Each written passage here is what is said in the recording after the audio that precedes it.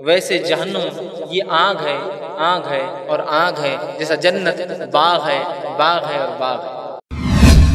کہ جہنم کی آنکھ خود اس ویل والی آنکھ سے اللہ سے روز پناہ مانگتی ہے، اللہ اس سے مجھے دور کر یہ ویل ہے، ویل۔ جہنم میں یاد رکھیے، کسی قسم کی سہولت کو تصور بھی مت کیجیے۔ جہنمیوں کا بچھونا آگ ہوگا جہنم کی ہتکڑیاں آگ ہوں گی، جہنم کا سونا آگ پر ہوگا جہنم آگ پر چلیں گے، آگ ہی آگ ہے، ہر طرف آگ بس اس کے علاوہ اور کچھ نہیں ہوگا جہنم۔ ہر بار ہوں گا، بار بار ہوں گا، لگاتار ہوں گا اور ہمیشہ اس لیے کہ جہنم ایسی دردناک جگہ ہے، ایسی دردناک جگہ ہے۔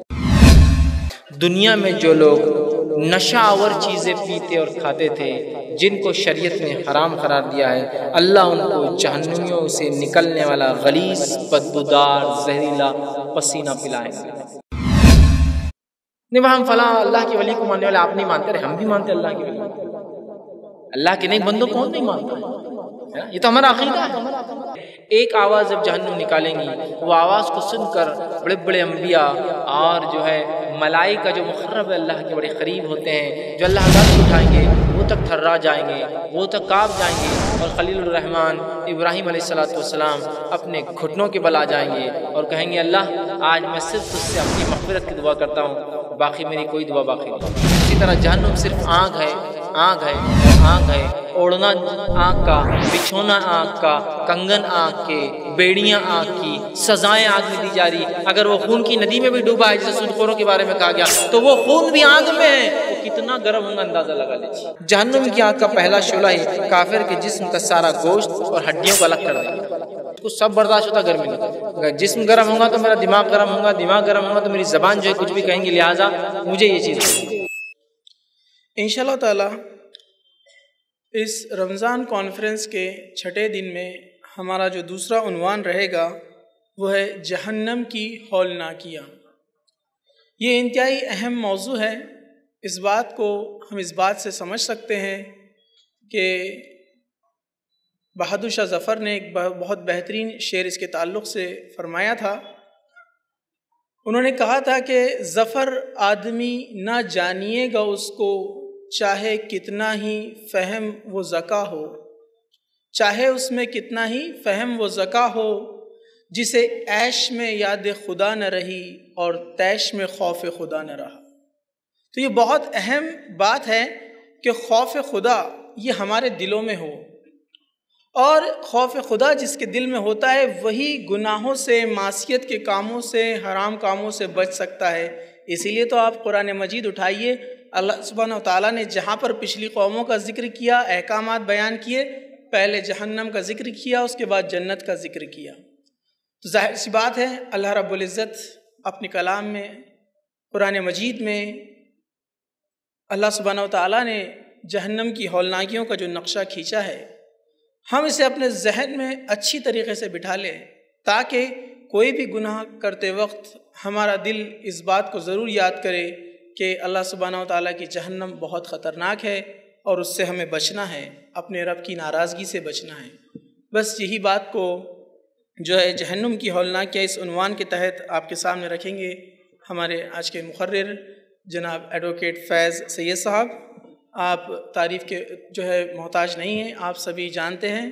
میں زیادہ وقت نہ لیتے ہوئے آپ کو یہاں پر دعوت دیتا ہوں کہ آپ یہاں پر آئے اور اس عنوان کے تحت جو ہے روشنی ڈالیں۔ جزاک اللہ۔ بسم اللہ الرحمن الرحیم۔ ان الحمد للہ نحمده ونستعینه ونستغفره ونعوذ باللہ من شرور انفسنا ومن سیئات اعمالنا من يهدي الله فلا مضل له ومن يضلله فلا هادي له. واشهد ان لا اله الا الله وحده لا شريك له. واشهد ان محمدا عبده ورسوله وبعد. فان خير الحديث كتاب الله وخير الحديث حديث محمد صلى الله عليه وسلم. وشر الأمور محتثاتها وكل محتثة بدعة وكل بدعة ضلالة وكل ضلالة في النار.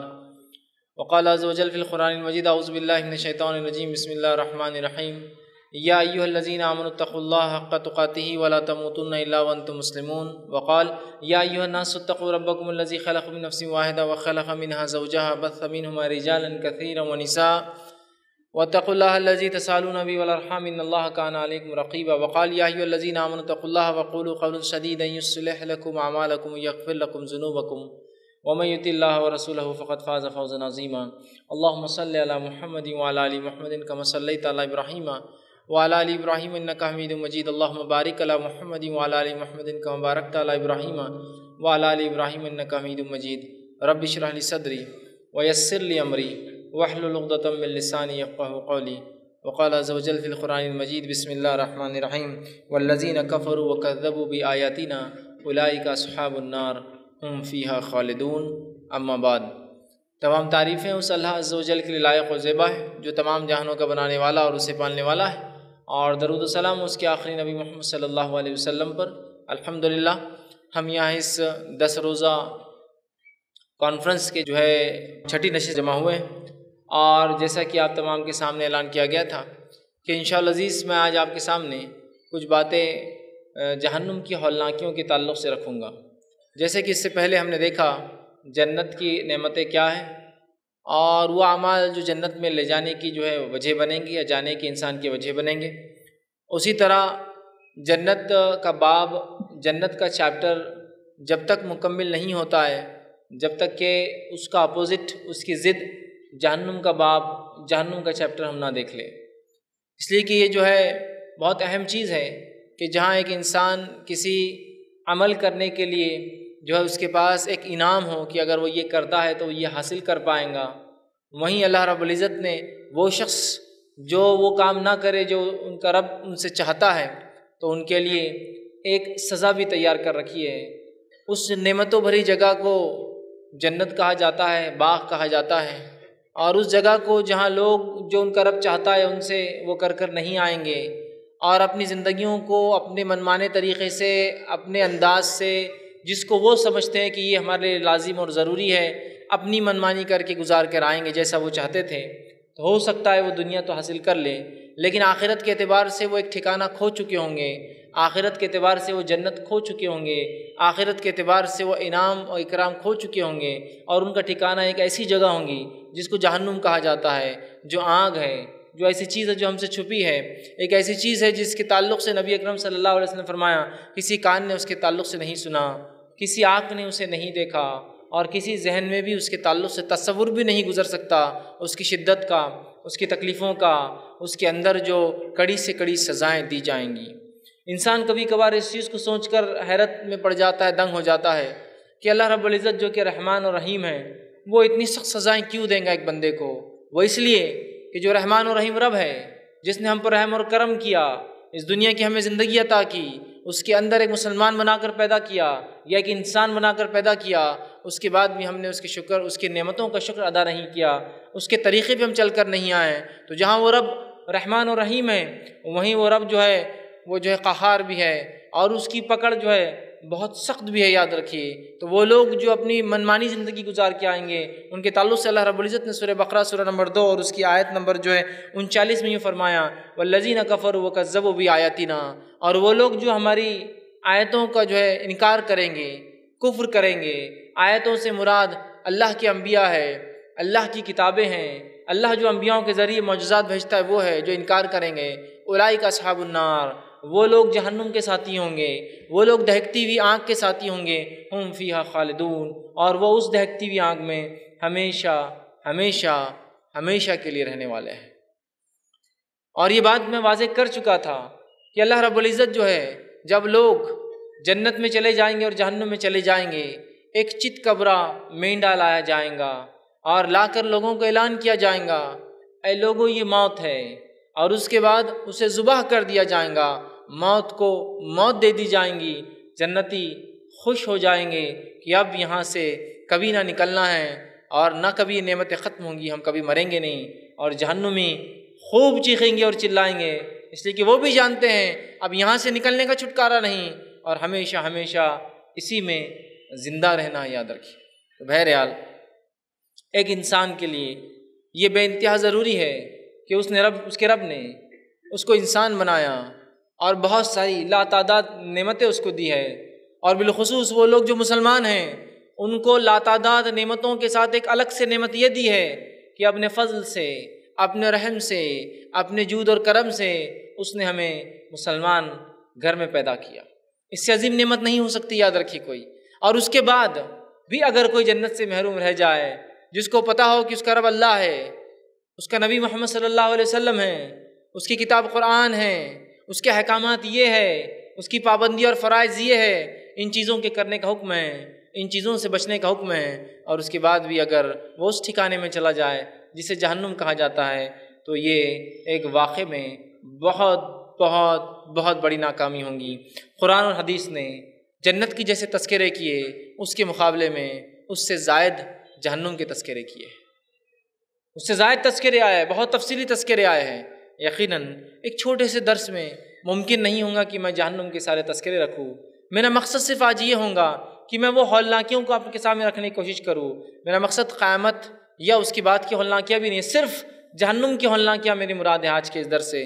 جہنم کی وہ ہولناکیاں، وہ تکلیفیں، وہ سزائیں، وہ اذیتیں، وہ رسوائیاں، وہ غم، وہ چیخنا اور چلانا وہ جو تکلیفیں ہوں گی، بس وہ ہولناکیوں کے تعلق سے کچھ باتیں میں رکھوں گا۔ حالانکہ قیامت جب قائم ہوں گی، اس کے بعد آخرت جب قائم ہوں گی، آخرت خود ایک بہت ہولناک چیز ہے۔ اس کی ہولناکیاں تو ایسی ہے کہ جس کی کوئی انتہا نہیں۔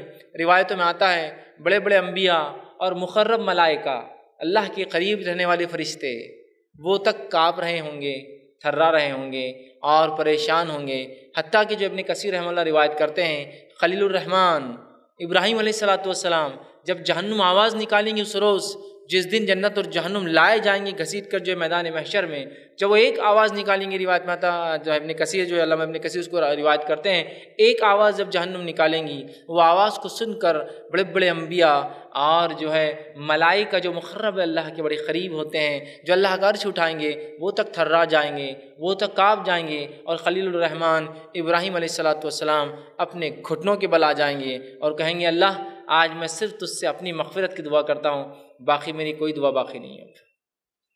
حالانکہ وہ زندگی میں دعا کرتے رہے اور ایک دعا باقی رکھی کہ اپنے والد کے لیے کروں گا، لیکن وہ بھی بھول جائیں گے، کہیں گے بس آج اگر میں ہی مغفرت ہو جائے، میں ہی بچ جاؤں، تو بس یہی میرے لیے کافی ہوں گا آج۔ تو بہرحال، ہم اس آخرت کی ہولنا کیا یا قیامت کی ہولنا کیا نہیں، بلکہ وہ آخری الٹیمیٹ جو رزلٹ ہے جو سب کچھ ہونے کے بعد، تمام مرحلوں سے گزرنے کے بعد، دنیا کے ختم ہونے کے بعد، جو الٹیمیٹ ٹو ڈیسٹینیشن سے دو جگہ ہیں جہاں انسان جائیں گا، اس کے علاوہ کوئی تیسرا مقام نہیں ہے، وہ مقام ہے ایک جنت، جس کا تذکرہ میں نے آپ کے سامنے کر دیا۔ اس لیے کہ اللہ کی کتاب نے جنت کا تذکرہ پہلے کیا ہے اور جہنم کا تذکرہ بعد میں کیا ہے۔ اس لیے کہ اللہ کی رحمت پہلے ہے کہ اس نے انبیاء اور رسول اور کتابوں کو بھیجا ہے۔ اور بعد میں اگر انسان اس کا انکار کرے تو پھر اس کے لیے وہ مقام رکھا جسے ہم جہنم کہتے ہیں۔ تو بہرحال اسی لیے جو ہے اللہ نے کتاب میں جو ہے پہلے بشارت دی اور پھر ڈرایا اپنی جہنم سے۔ تو بہرحال وہ الٹیمیٹ ایک ایسی جگہ ہے جس کے علاوہ انسانیت کو کوئی چارہ نہیں ہے کہ انسان یا تو جنت میں جائیں گا یا جہنم میں جائیں گا، اس میں سے ہم نے جنت کے تعلق سے اس کی عظیم نعمتیں جو ہمارے رب نے ہمارے لیے تیار کر رکھی ہے ایسی عظیم نعمتیں کہ جس کے بارے میں سوچنا بھی محال ہے۔ کچھ باتیں تو بہرحال سمجھ میں آتی ہے قرآن حدیث سے۔ باقی تو صرف دیکھنے کے بعد ہی انسان کو پتہ چلے گا کہ ان کے رب نے ان کے ساتھ کیا کیا۔ لیکن وہیں جہنم بھی اتنی ہی ایک سخت جگہ ہے۔ جنت اونچائی والی ہے اور جہنم گہرائی والی ہے۔ جتنی نعمتوں بھری جنت ہے اس سے زیادہ یا اس کے مقابلے میں ویسی سخت جو ہے اللہ رب العزت کی جہنم ہے ان شاء اللہ عزیز. میں آج آپ کے سامنے کچھ باتیں قرآن سے، کچھ باتیں حدیث سے رکھنے کی کوشش کروں گا۔ چونکہ وقت کی کمی ہے، میں مکمل طور سے سارے حوالے آپ کے سامنے صرف رکھوں گا اور مفہوم اس آیت سے اور مفہوم اس حدیث کا کیا ہے رکھنے کی کوشش کروں گا۔ اس لیے کہ قرآن حدیث کا متن بہت لمبا ہے۔ اگر میں پوری تلاوت کروں اور اس کے ساتھ جو ہے معنی رکھوں تو میں شاید بہت کم حلناکیاں کور کر پاؤں گا، بہت کم حلناکیاں رکھ پاؤں گا۔ لہٰذا میں حوالہ آپ کے سامنے رکھوں گا۔ حوالے کے بعد اس آیت میں اور اس حدیث سے کیا مفہوم نکلتا ہے؟ کیا معنی ظاہر ہو رہا ہے؟ اس ظاہری معنی کو آپ کے سامنے جو ہے رکھنے کی کوشش کروں گا۔ اور اللہ رب العزت سے اس سے پہلے کہ ہم اس کے تذکرے کی طرف بڑھے، جو کہ سب سے بری جگہ یاد رکھے رہنے کی، سب سے رسوا کن جگہ ہے؟ سب سے سخت جگہ ہے، سب سے اذیت والی جگہ ہے سب سے زیادہ تکلیف دہ جگہ ہے، جہاں ذرہ برابر بھی سکون حاصل نہیں ہوگا میں اللہ سے پناہ مانگتا ہوں اللہ رب العزت جو ہے، مجھے اور ہم تمام کو جو ہے جو ہے، عالم جو ہے، انسانیت کو بہرحال اس سے محفوظ رکھے اور ہم تمام کو بھی اس سے جو ہے محفوظ رکھے۔ آئیے ہم آگے بڑھتے ہیں۔ اور جہنم کے جو تذکرے اللہ کی کتاب نے اور اس کے نبی صلی اللہ علیہ وسلم نے کیے، ان تذکروں کو آپ کے سامنے رکھنے کی بہرحال میں ایک کے بعد ایک جو ہے کوشش کروں گا۔ جس طرح سے جنت کے آٹھ دروازے ہیں، اس کی شروعات بھی ہم اس کے دروازوں سے کریں گے۔ اس کے داخلے سے کریں گے، اس کی وسعت سے کریں گے، اس کی چوڑائی سے کریں گے، اس کی لمبائی سے کریں گے۔ یہ بات میں اس لیے رکھ رہا ہوں کہ جہنم بھی ایک حقیقت ہے۔ لوگ جو اس کو مذاق سمجھتے ہیں، لوگ جو اس کو جوک سمجھتے ہیں، لوگ سمجھتے ہیں بس جہنم کو ایک ایسی چیز ہے جو بچے کو ڈرانے کے لیے بول دیا جاتا ہے نا، یہ کرو گے تو سزا دیں گے۔ لیکن باپ سزا دیتا نہیں ہے، صرف کہتا ہے، جہنم میرے بھائیوں، یہ وہ جگہ نہیں ہے کہ اللہ نے صرف کہہ دیا۔ وہ اس میں ڈالنے پر برابر خادر ہے ہر کسی یہ وہ جگہ نہیں ہے کہ بس تھوڑا سا ڈرا دیا گیا انتظار کی نہیں، بس ایسا ہے، لیکن نہیں، میں تو تم کو جنت میں ڈالوں گا۔ یہ ایک حقیقت ہے، صحابہ کے سامنے جنت اور جہنم کے تصور اتنے کلیئر تھے، اتنے واضح تھے کہ ان کے لیے نیکیاں کرنا مشکل نہیں تھا، اس لیے کہ وہ جانتے تھے اس کا بدلہ کیا ہے۔ اور گناہ کرنا ناممکن جیسا تھا، اس لیے کہ وہ جانتے تھے کہ ان کے رب نے ان کے لیے جہنم بھی تیار کر رخی ہے۔ تو بہرحال آئیے، کچھ باتیں شروع ہم شروع کرتے ہیں، جہنم کے دروازے، اللہ رب العزت نے سورہ جو ہجر، سورہ نمبر پندرہ، آیت نمبر تینتالیس سو چوالیس سے فرمایا اور کہا، جہنم کے سات دروازے ہیں، تمام جہنمی اپنے اپنے گناہوں کے مطابق مخصوص دروازوں سے اندر داخل ہوں گے۔ جس طرح سے جنت کے دروازے آٹھ ہیں، اس لیے کہ اللہ کی رحمت اس کے غضب سے بڑی ہے، اس کا فضل بڑا ہے۔ اس کی آٹھ تھے، اس کے ساتھ ایک کم ہے آٹھ کو۔ اور اس میں لوگ جو ہے اپنے گناہوں کے اعتبار سے، اس کی تفصیلات تو نہیں آتی کہ کون سا دروازے پہ کیا گناہ ہوں گا۔ جیسا نیکیوں کے بارے میں آتا، باب الصلاح جنت کا ایک باب ہے، باب الجہاد جنت کا ایک باب ہے، باب الریان ایک جنت کا باب ہے۔ اس کے تعلق سے تفصیلات نہیں آتی ہے لیکن سات باب ہے سیون ڈورس ہے جس میں سے لوگ جہنم میں انٹر ہوں گے۔ اور جو ہے، ان کو جو ہے اپنے اپنے گناہوں کے مطابق اندر ڈالا جائیں گا، اندر دھکا دیا جائے گا۔ یہ عزت والا مقام نہیں ہے، یاد رکھیے۔ یہ عزت والا مقام نہیں ہے، یہ رسوائی والا مقام ہے، یہ بہت زیادہ تکلیف والا مقام ہے۔ تو لہٰذا ان کو سات دروازوں میں سے مختلف گناہوں کی بنیاد پر اس میں ڈالا جائے گا۔ قیامت کے روز جہنم کو جو ہے، فرشتے جب جہنمی اندر چلے جائیں گے، دروازوں کو بند کر لیں گے۔ سورہ زمر سرم انچالیس، آیت نمبر اکہتر میں اللہ نے فرمایا، قیامت کے روز فرشتے جہنم کو بند دروازے جو ہے کھولیں گے تاکہ جہنمیوں کو الگ الگ دروازے سے داخل کرے اور ان دروازوں کو بہت مضبوطی سے وہ لگا دیں گے۔ اس لیے کہ جہنم بڑی تنگ جگہ ہے۔ اس لیے کہ وسعت، چوڑائی، کھلاپن بھی ایک قسم کی نعمت ہوتی ہے۔ جہنم میں یاد رکھیے، کسی قسم کی سہولت کو تصور بھی مت کیجیے۔ کسی قسم کی سہولت کو تصور بھی مت کیجیے۔ وہاں کھلی جگہ بھی نہیں ملنے والی ہے۔ آپ کہیں گے پھر اتنی بڑی جہنم پھر کیوں نہیں کھلے ملیں گی؟ ابھی بات آگے آ رہی کیوں نہیں ملیں گی؟ کیوں نہیں ملیں گی؟ تو وہ بہت سخت جگہ ہے، اس لیے کہ کھلاپن بھی ایک نعمت ہے۔ تو وہ نعمت بھی اللہ نہیں دینے والا۔ ذرہ برابر جہنم کو آپ خالی کر لیجیے کسی بھی قسم کی سہولت سے، کسی بھی قسم کے آسانیوں سے۔ یہاں تک کہ ذہنی اذیتیں بھی دی جائیں گی ان کو، صرف جسمانی نہیں، تاکہ وہ ہر قسم کے عذاب کا مزہ چکے لہٰذا وہ بند کر دی جائیں گی، لوگوں کو ٹھوس دیا جائیں گا، دروازوں کو جو ہے بھیڑ دیا جائیں گا۔ جہنم کے درجات کس طرح سے ہوں گے؟ جہنم میں جو ہے صحیح مسلم کی روایت ہے۔ نبی اکرم صلی اللہ علیہ وسلم نے فرمایا اور کہا، جہنم کے مختلف درجات ہے سب سے نچلا ہے، سب سے نچلا درجہ جو جہنم کا ہوں گا، وہ یہ ہوں گا کہ اس کا عذاب ایک شخص کو اس کے ٹخنوں تک دیا جائیں گا۔ سب سے ہلکا عذاب۔ اس کا عذاب اس شخص کو اس کے ٹخنوں تک دیا جائیں گا۔ اس لیے کہ اس نے نیکیاں کی ہوں گی لیکن ایمان نہیں لایا ہوں گا۔ بہت نیکیاں کی ہوں گی لیکن ایمان نہیں لایا ہوں گا۔ اس وجہ سے عذاب تو ہلکا ہوں گا، ختم نہیں ہوں گا، ٹخنوں تک دیا جائیں گا۔ دو آنکھ کی جوتیاں اس کے پیروں میں ڈالی جائیں گی۔ اس آنکھ کی جوتی کی شدت نبی اکرم صلی اللہ علیہ وسلم اتنی ہوں گی کہ اس کا بھیجا ہانڈیاں میں جیسا ابلتا ہے نا، پانی ویسا ابل رہا ہوں گا۔ یہ سب سے لیسٹ ہے، سب سے ہلکا ہے، سب سے کمتر ہے، یاد رکھیے۔ تمام عذابات اب اندازہ لگا لیجیے اس سے زائد ہی کہ دو جوتیاں آنکھ کی پہنائی جائیں گی، اس کی شدت اتنی ہوں گی کہ آپ سے فرماتے اس کا بھیجا ہانڈیا میں پانی ابلتا ہے نا جب کھانا بنانے سے پہلے ویسا اس کا بھیجا اس کے دماغ میں ابل رہا ہوں گا، یہ ہے سب سے ہلکا عذاب جو جہنمیوں کو دیا جائیں گا اور سب سے دردناک عذاب جن لوگوں کو دیا جائیں گا، وہ منافق ہوں گے۔ سور نسا سور نمبر چار، آیت نمبر ایک سو پینتالیس میں اللہ نے کہا، ان المنافقین فی الدرک اسفل من اسفل من النار منافق وہ ہے جو جہنم کے سب سے نچلے مرتبے اور درجے میں ہوں گے۔ اس لیے کہ جنت کے اونچے مقامات ہیں، جہنم کے گہرے مقامات ہیں۔ منافق چونکہ ایمان کا دعویٰ کرتا ہے، دل میں کفر چھپاتا ہے، مومنوں کو زیادہ نقصان دیتا ہے بنسبت کافروں کے، اس کی سزا بھی سب سے بدتر ہے۔ لہٰذا ہم کوشش کریں کہ نفاق کی کوئی علامت مومن ہونے کے ناطے، مسلمان ہونے کے ناطے اپنی نفس میں باقی نہ رکھے۔ اس لیے کہ سب سے دردناک عذاب منافقین کو ہے، یہ در کی اسفل من النار، جہنم کے سب سے نچلے گڑے میں ہوں گے اور جہنم کا سب سے نچلا حصہ کتنا نچلا ہے، اس کے تعلق سے انشاءاللہ آگے تفصیلات آئیں گی چوڑائی لمبائی میں۔ وہ اتنا نیچا ہے کہ اگر ایک پتھر اگر پھینک دیا جائے جہنم کے اندر، تو ستر سال لگتے ہیں اس کو اس کے تل میں پہنچنے کے لیے۔ جو لوگ فزکس کے اسٹوڈنٹ ہیں، وہ لوگ اس چیز کو سمجھ سکتے جب کسی چیز کو پھینکا جاتا ہے اس کی وزن کے اعتبار سے جب وہ نیچے گرتی ہے تو اس کی رفتار بڑھتا جاتی ہے، بڑھتے جاتی ہے، بڑھتے جاتی ہے۔ چونکہ وہ گر رہی ہے، نیچے کی طرف آ رہی ہے۔ سمجھ رہے آپ؟ تو اندازہ لگے جب کوئی چیز ستر سال تک گرتے رہیں گی، اس کی رفتار کیا ہو جائیں گی؟ مطلب کتنی گہری ہے جہنم۔ تو وہ ستر سال جہاں ختم ہوتے جہنم کا تل ہے، وہاں رہیں گے وہ لوگ جو اللہ اور اس کے دین اور مسلمانوں کو دھوکہ دینا چاہتے ہیں، ایمان کا لبادہ اور لباس اوڑھ کے وہ ہوں گے منافقین۔ ٹھیک ہے، اسی طرح جو ہے، جہنم کے مختلف درجات ہے لوگوں کے مختلف گناہوں کے اعتبار سے اس میں کیا سلسلہ ہوں گا، اوپر اور نیچے کیا اس کی تفصیلات تو نہیں ملتی، لیکن مختلف درجات ہوں گے۔ سب سے ہلکا جوتیوں والا، سب سے گہرا منافقین کو بہرحال دیا جائیں گا۔ اسی طرح جو ہے جو ہے، جہنم کا ایک درجہ، جس کا تذکرہ قرآن نے کیا، وہ جہیم ہے، جس کا معنی ہے، بھڑکتی ہوئی آنکھ جہنم کا ایک حصہ آگ ہے، یاد رکھیے۔ ویسے جہنم یہ آگ ہے آگ ہے اور آگ ہے، جیسا جنت باغ ہے باغ ہے اور باغ ہے۔ ہاں جھاڑ ہے، سائے دار درخت ہے، نہریں ہیں۔ اسی طرح جہنم صرف آگ ہے۔ آگ ہے اور آگ ہے، اوڑھنا آگ کا، بچھونا آگ کا، کنگن آگ کے، بیڑیاں آگ کی، سزائیں آگ میں دی جا رہی۔ اگر وہ خون کی ندی میں بھی ڈوبا ہے جیسے سود خوروں کے بارے میں کہا گیا، تو وہ خون بھی آگ میں ہے۔ وہ کتنا گرم ہوں گا، اندازہ لگا لیجیے۔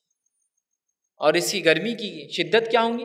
نبی اکرم صلی اللہ علیہ وسلم، جو سوال ہوا، اسی گرمی کی شدت کیا ہے؟ تو کہا، دنیا میں جتنی گرمی تم پیدا کر پاتے ہو، اس سے ان ستر ٹائمز زیادہ۔ ٹوٹل ملا لیا ہے تو ستر وقت جو ہے زیادہ ہے، اندازہ لگائیے۔ اگر مثال کے طور پر دنیا میں ہم دو ہزار ڈگری پیدا کر سکتے ہیں، ویسے انسان آج لاکھوں ڈگری تک پیدا کرتا ہے۔ لاکھوں ڈگری تک۔ جس کی بنیاد پر وہ سب سے چھوٹا خلی، جو جس کو کہتے ہیں خلیہ یا نیوکلیئر جو ہوتا ہے، اس کو توڑ سکتا ہے، جس سے بہت ساری انرجی، بہت ساری توانائی اور قوت جو ہے نکلتی ہے، وہ لاکھوں ڈگری پہ ٹوٹتا ہے جا کر۔ لیکن ایک موٹی مثال دے رہا ہوں، اتنی تفصیلات، اتنے کیلکولیشنس میں نہ جاتے ہوئے۔ اگر دو ہزار انسان بنا سکتا ہے، تو جہنم کی آگ ایک لاکھ چالیس ہزار ڈگری سینٹی گریڈ ہے۔ یہ مثال دے رہا ہوں۔ میں یقیناً جہنم ہم ایکسپلین نہیں کر پائیں گے، ہم سمجھ نہیں پائیں گے، چونکہ وہ جو سوچیں گے، اس سے آگے ہی نکلنے والی۔ کوئی ذہن سوچ نہیں سکتا ہے۔ ایک مثال دے رہا ہوں۔ اگر دو ہزار ہے، تو ایک لاکھ چالیس ہزار۔ اور یہ سب پیمانوں کو ایک طرف رکھ کر صرف گرمی کی شدت کی اندر گرمی کے دنوں میں کچھ مہینے کے کچھ دن جو دس سے بارہ ہوتے ہیں، جو چار مہینے کے اندر آتے ہیں، جن میں سب سے زیادہ ٹیمپریچر جاتا ہے، جو ہمارے شہر میں چالیس سے جو ہے پینتالیس کے بیچ میں ہوتا ہے۔ اس گرمی کو تصور کر لیجیے اور ایک طرف ستر درجے زیادہ دنیا میں انسان جتنی آگ پیدا کر سکتا ہے، اس سے زیادہ وہ جہنم کی شدت ہے۔ ہر چیز آگ میں ہو رہی ہے بات آپ سوچ لیجیے اور اس کے بعد سنیے۔ ہر چیز آگ میں ہو رہی جو کچھ ہے۔ اگر وہاں کوئی چیز کھلائی جا رہی ہے تو وہ اتنی آگ میں اتنی گرم ہے۔ کوئی چیز پلائی جا رہی ہے تو اتنی آگ میں اتنی گرم ہے۔ کسی جگہ سلایا جا رہا تو اتنی آگ میں اتنی گرم جگہ میں ہی ہے سب کچھ۔ تو بہرحال، نبی کا جو ہے جہنم کا ایک نام، جو ہے ایک طبقہ، ایک حصہ جہیم ہے، جس کے بارے میں جو اللہ رب العزت نے قرآن میں یوں فرمایا، سورہ نازیہ سورہ نمبر انیسی آیت نمبر جو ہے سینتیس سے لے کر انچالیس، تھرٹی سیون سے تھرٹی نائن، اللہ نے کہا فرمایا فما من تغا و آثر الحیات حیات دنیا فعن فعن الجہیم وہی الماوا تو اللہ فرماتا کہتا جس نے سرکشی اختیار کی، دنیا کی زندگی کو اپنا لیا، اس کو ترجیح دی، اسی میں پڑا رہا، تو اس کا ٹھکانہ جو ہے جہیم ہوں گا، جہنم کی بھڑکتی ہوئی آنکھ ہوں گا۔ کیونکہ دنیا پرستی اختیار کر لی، حق کا انکار کر دیا، ہے نا؟ اور باغی بن گیا۔ گیا وہ جہنم میں جہیم میں جو کہ بھڑکتی ہوئی آگ ہے۔ اسی طرح جو ہے، ایک حصہ جو آگ کا آتا ہے، جہنم کا اسے کہتے ہیں۔ حتمہ قرآن نے کہا، اور ہم جانتے ہیں اس کے تعلق سے، قرآن نے یوں فرمایا۔ اور سورہ نمبر ایک سو چار، اور اللہ رب العزت فرماتا سورہ حمزہ، آیت نمبر چار سے لے کر چھ اللہ نے فرمایا کل یم بزن فی الحتمہ نہیں، یہ تو ہرگز ایک توڑ پھوڑ کر دینے والی آگ میں ڈال دیے جائیں گے۔ وما ادرا کمل حتمہ تم کو کیا پتہ ہے یہ حتمہ کیا ہے؟ نار اللہ المقدا یہ اللہ کی خاص جلائی ہوئی آگ ہے۔ حتمہ جو توڑ پھوڑ کر دیتی، چورا چورا کر کے رکھ دیتی ہے انسان کو۔ اسی طرح جہنم کا ایک درجہ ہے، جو تیسرا سمجھ لیں مثال کے طور پہ وہ ہے، حاویہ ہے، گہرائی والی آنکھ۔ حاویہ۔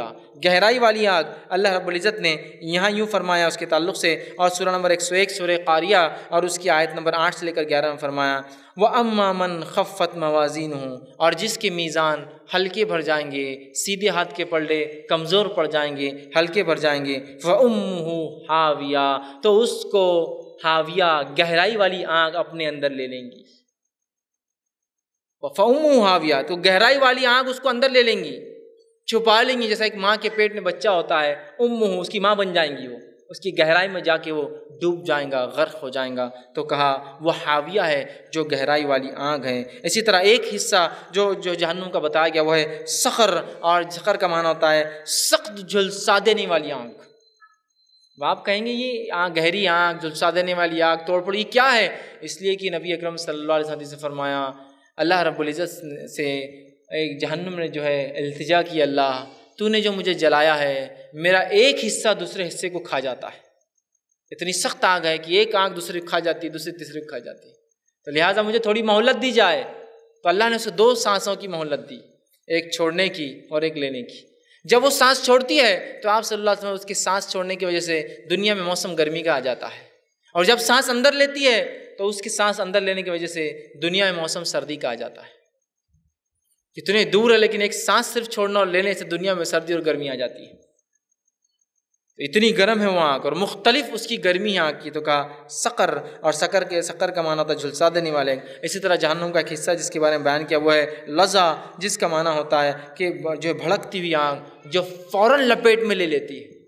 دیکھیے ہر آگ انسان کو یا کسی چیز کو لپیٹ میں نہیں لے پاتی، لیکن یہ وہ آگ ہے جو فوراً لپیٹ لیتی ہے تو جب لگیں گی تو ہر طرف یکساں لگ کر پکڑ لیں گی اس چیز کو، شے کو جو اس میں گریں گی۔ اسی طرح ایک حصہ ہے جس کا نام سعیر ہے۔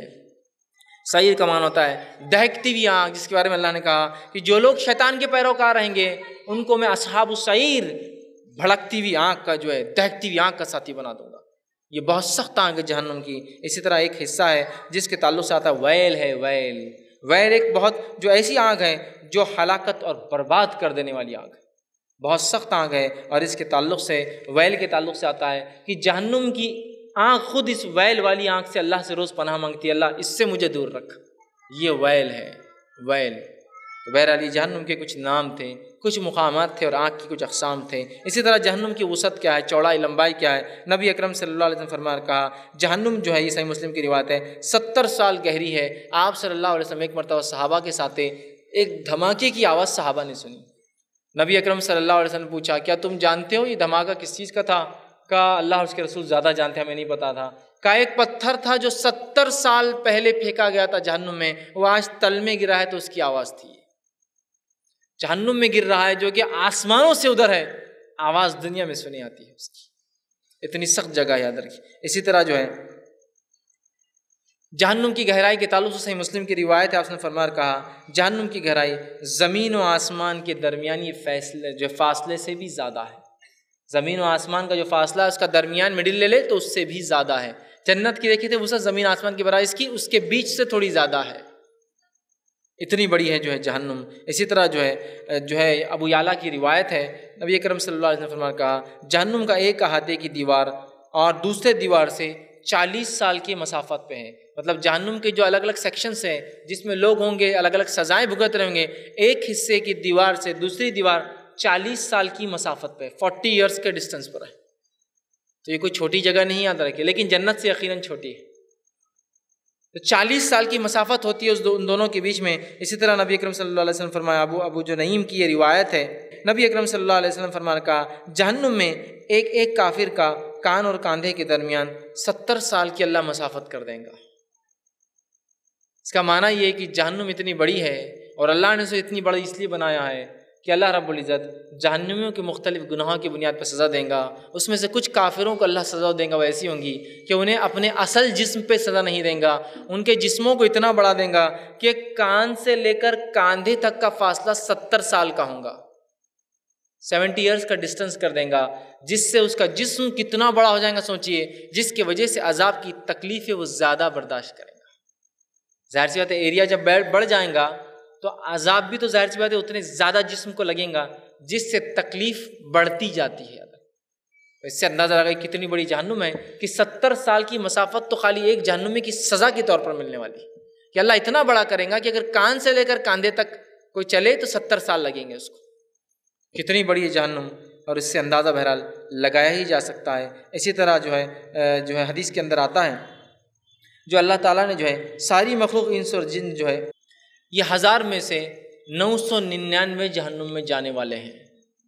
اکثریت انسانوں کی کہاں جانے والی ہے؟ جہنم میں جلنے والی ہے۔ اکثریت سو، ہزار میں سے نو سو ننانوے آپ نے حدیث فرمایا جہنم میں جانے والے ہیں۔ اور آدم علیہ السلام کو جب آپ نے پہلے آسمان پہ دیکھا تھا، جب معراج ہوئی، تو آپ نے دیکھا کہ آدم اپنے سیدھے ہاتھ کی طرف دیکھتے علیہ السلام تو خوش ہوتے ہیں۔ الٹے ہاتھ کی طرف دیکھتے تو رنجیدہ ہوتے ہیں۔ اللہ کے رسول نے پوچھا، یہ کون ہیں؟ تو کہا کہ آپ کے والد آدم ہیں۔ اور جب سیدھے ہاتھ کی طرف دیکھتے تو ان کے جو ہے نسل میں سے جنتی اپنی اولاد کو دیکھتے ہیں تو خوش ہو جاتے ہیں۔ پھر اب جب الٹے ہاتھ پہ دیکھتے ہیں تو اپنی نسل میں سے، اولاد میں سے جہنمیوں کو دیکھتے ہیں تو بڑے غمگین ہو جاتے ہیں، مسکراتے ہیں اور ہوتے ہیں۔ پوچھا، کتنے لوگ جہنم میں جائیں گے اور کتنے جنم؟ تو کہا، ہزار میں سے ایک جنتی ہوں گا اور نو سو ننانوے جہنم میں جانے والے ہیں۔ اب اندازہ لگائیے، جہنم اتنی ہولناک چیز ہے اللہ نے پہلے وضاحت کر دی، ہمیں ضرورت ہے اپنے اعمال کو ہم جانچیں اور اس کی اصلاح کریں۔ اس لیے کہ نو سو ننانوے ڈالنے کے بعد بھی اللہ کی جہنم کم نہیں پڑنے والی، یاد رکھی جیسے اللہ کا فضل جو ہے، اس کی کوئی لمٹ نہیں ہے۔ اس کی سختیوں کی بھی یاد رکھیے، وہی معاملہ ہے، اتنی ہی ہیں۔ اسی طرح جو ہے سور قاف، سورہ نمبر پچاس، اس کے آدمی تیس میں اللہ فرماتا اور کہتا ہے، ایک ہزار آدمیوں میں سے نو سو ننانوے جہنم میں جائیں گے، باوجود جہنم میں جگہ بچ جائیں گی اور جہنم مزید لوگوں کا مطالبہ کریں گے اللہ سے۔ حلمی مزید اللہ کو ہے تو ڈالو اس کو اندر۔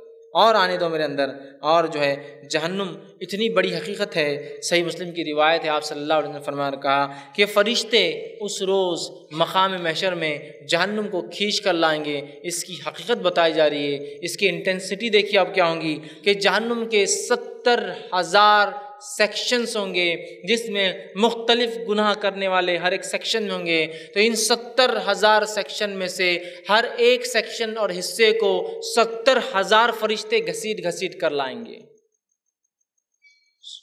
کتنی بڑی ہے یہ اس سے صرف اندازہ لگایا سکتا۔ اس لیے کہ ایک فرشتے کی طاقت کا تذکرہ یہ ہے ایک فرشتے جیسے جبر علیہ السلام جو ہے، قیامت سے پہلے صرف ایک اپنا پر ہلائیں گے، ان کے چھ سو سے زائد پر ہے۔ ایک ہلائیں گے تو پوری کائنات کو ایسے لپیٹ لیں گے جیسے کہ دسترخوان جمع میں کھینچتے ہیں نا، سب چیز ایک جگہ آ جاتی ہے ویسے ایک خالی یہ طاقت ہوتی ہے ایک فرشتے کی۔ تو ستر ہزار فرشتے صرف ایک سیکشن کو کھینچ کر لائیں گے۔ سیونٹی تھاؤزینڈ کو سیونٹی تھاؤزینڈ سے اگر ملٹیپلائی کیا جائے، ستر ہزار سیکشن ستر ہزار فرشتے، تو ہوتا ہے چار ارب نوت lakh. Four point nine billion فرشتے ہوں گے جو کھینچ کر صرف جہنم کو لے کر آئیں گے اس کے مقام پر۔ جو مقام محشر میں جو لا کر بتائی جائیں گی، جب فیصلے کا دن ہوگا جنت اور جہنمی ہوں گے، تو اندازہ لگائیے کتنی بڑی ہے کہ چار ارب اور نوت کروڑ فرشتے ہیں جو صرف اس کو کھینچ کر لے کر آئیں گے۔ وہ جہنم ایک بہت بڑی حقیقت ہے، اس کو مذاق نہ سمجھیں۔ بہت سارے لوگ پتہ نہیں کیا کیا خول بول چکے ہیں۔ اگر ان کا وہ عقیدہ تھا تو بہرحال پھر تو اللہ ہی بہرحال ان کی حفاظت کرے کہ جہنم کو جو ہے اللہ جو ہے جنت کی میں نہر سے بجھا دوں گا اور جو ہے جنت کو جہنم سے میں جو ہے آگ لگا دوں گا، مجھے تو فلاں چاہیے۔ ذرا غور کرے، ستر ہزار فرشتے سے ایک سیکشن کو کھینچ رہے ہیں۔ کس کی ہمت اور کس کی طاقت ہے جو اس چیز کو بجھا سکے یا اس کی آنکھ کو ٹھنڈی کر سکے؟ سمجھ رہے بات کو؟ یہ بڑی اہم چیز ہے، یاد رکھیں۔ اسی طرح جو ہے، جہنم کے عذاب اور اس کی حلنا کیا ہوں گی؟ تو اس کے تعلق سے آتا ہے اللہ رب العزت سر فرقان سورہ نمبر پچیس، آیت نمبر بارہ میں فرماتا اور کہتا ہے، کافروں کو جو ہے دور سے آتے دیکھ کر جہنمی، جہنم جو غیظ اور غضب، جہنم غصے کا اظہار کریں گی اور ایسی آوازیں نکالیں گی جس جس سے کافروں کے اوسان خطا ہو جائیں گے سینسز بیکار ہو جائیں گے، سننا، دیکھنا کچھ سمجھ میں نہیں آئے گا۔ صرف وہ جب ایک آواز نکالیں گی اور علامہ ابن کثیر نے اس کو روایت کیا اور وہ کہتے ہیں کہ اتنا لوگ ڈریں گے کہ انبیاء اور مخرف فرشتے بھی کاپ رہے ہوں گے اس دن۔ ایک آواز نکالیں گی وہ مقام محشر میں، تو کافروں کے ہوش سینسس پورے گم ہو جائیں گے، ہوش اور حواس بیکار ہو جائیں گے سارے۔ اتنی سخت وہ جگہ یاد رکھے اسی طرح جو ہے جو ہے جہنم میں جب آئیں گے، سورہ ملک سورہ نمبر سینسٹھ، سکسٹی سیون آیت نمبر جو ہے، سات اور آٹھ میں اللہ نے کہا، جب کافر جہنم میں ڈالے جائیں گے، تو جہنم شدت سے انتخام لیں گی کہ تمہیں بتایا گیا تھا نا میرے بارے میں۔ تمہارے پاس رسول اور انبیاء آئے تھے نا تمہیں بتانے کے لیے، پھر بھی تم نے مجھ سے جو ہے پناہ نہیں مانگی، پھر بھی تم نے ایسے اعمال نہیں کیے اور وہ شدید غصے میں ہوں گی اور غیظ اور غضب میں ہوں گی اور اونچی اونچی خوفناک آوازیں وہ نکال رہی ہوں گی۔ اسی طرح اللہ رب العزت نے قرآن فرمایا، سورہ نبا، سورہ نمبر جو ہے اٹھہتر اور آیت نمبر جو ہے اکیس سے لے کر تیئیس میں جہنم کافروں سے انتقام لینے کے لیے سخت بے چین ہوتی ہے، یاد رکھیے بے چین ہے اور جب اس کو اتنے زمانے بعد کافر ملیں گے، وہ بہت چن چن کر ایک ایک کافر سے جو ہے بدلہ لیں گی۔ اسی طرح جو ہے قرآن کے اندر آتا ہے سورہ نمبر چھسٹھ آیت نمبر چھ کے اندر اللہ رب العزت نے جو ہے فرمایا اور کہا کہ جہنم کی آگ بھڑکانے کے لیے اللہ تعالیٰ نے ایسے فرشتے مقرر کر رکھے ہیں جو نہایت جو ہے تند خور مطلب بہت بڑے ہیں اور بے رحم اور سخت گیر ہے، جن کی تعداد انیس ہے، نائنٹین ہے۔ جہنم میں جو فرشتے ہیں، جو لوگوں کو اس میں ڈالیں گے، ان کی تعداد انیس ہے اور بہت سخت ہے اور وہ اللہ کے کسی حکم کو جو ہے ٹالتے نہیں ہیں۔ اسی طرح جو ہے جہنم کے عذاب کے تعلق سے سورہ یونس میں اللہ نے فرمایا، آیت نمبر ستاویس میں سورہ نمبر دس، آیت نمبر ستاویس، کہ جہنم کا عذاب دیکھ کر کافروں کے چہرے کالے پڑ جائیں گے۔ کالے پڑ جائیں گے، اس لیے کہ وہ اتنی سخت جگہ ہوں گی۔ ایسا ہوتا ہے نا، لوگوں کے چہرے لال ہو جاتے ہیں، کسی کا پیلا پڑ جاتا ہے نا، کوئی چیز حادثہ ہو گیا، پیلا پڑ گیا، غصہ آیا، لال ہو گیا، کافروں کے چہرے جہنم کو دیکھ کے کالے ہو جائیں گے۔ شاید یہ خون جم جائیں گا یا خون گھٹ کر رہ جائیں گا ان کے چہرے کے اندر۔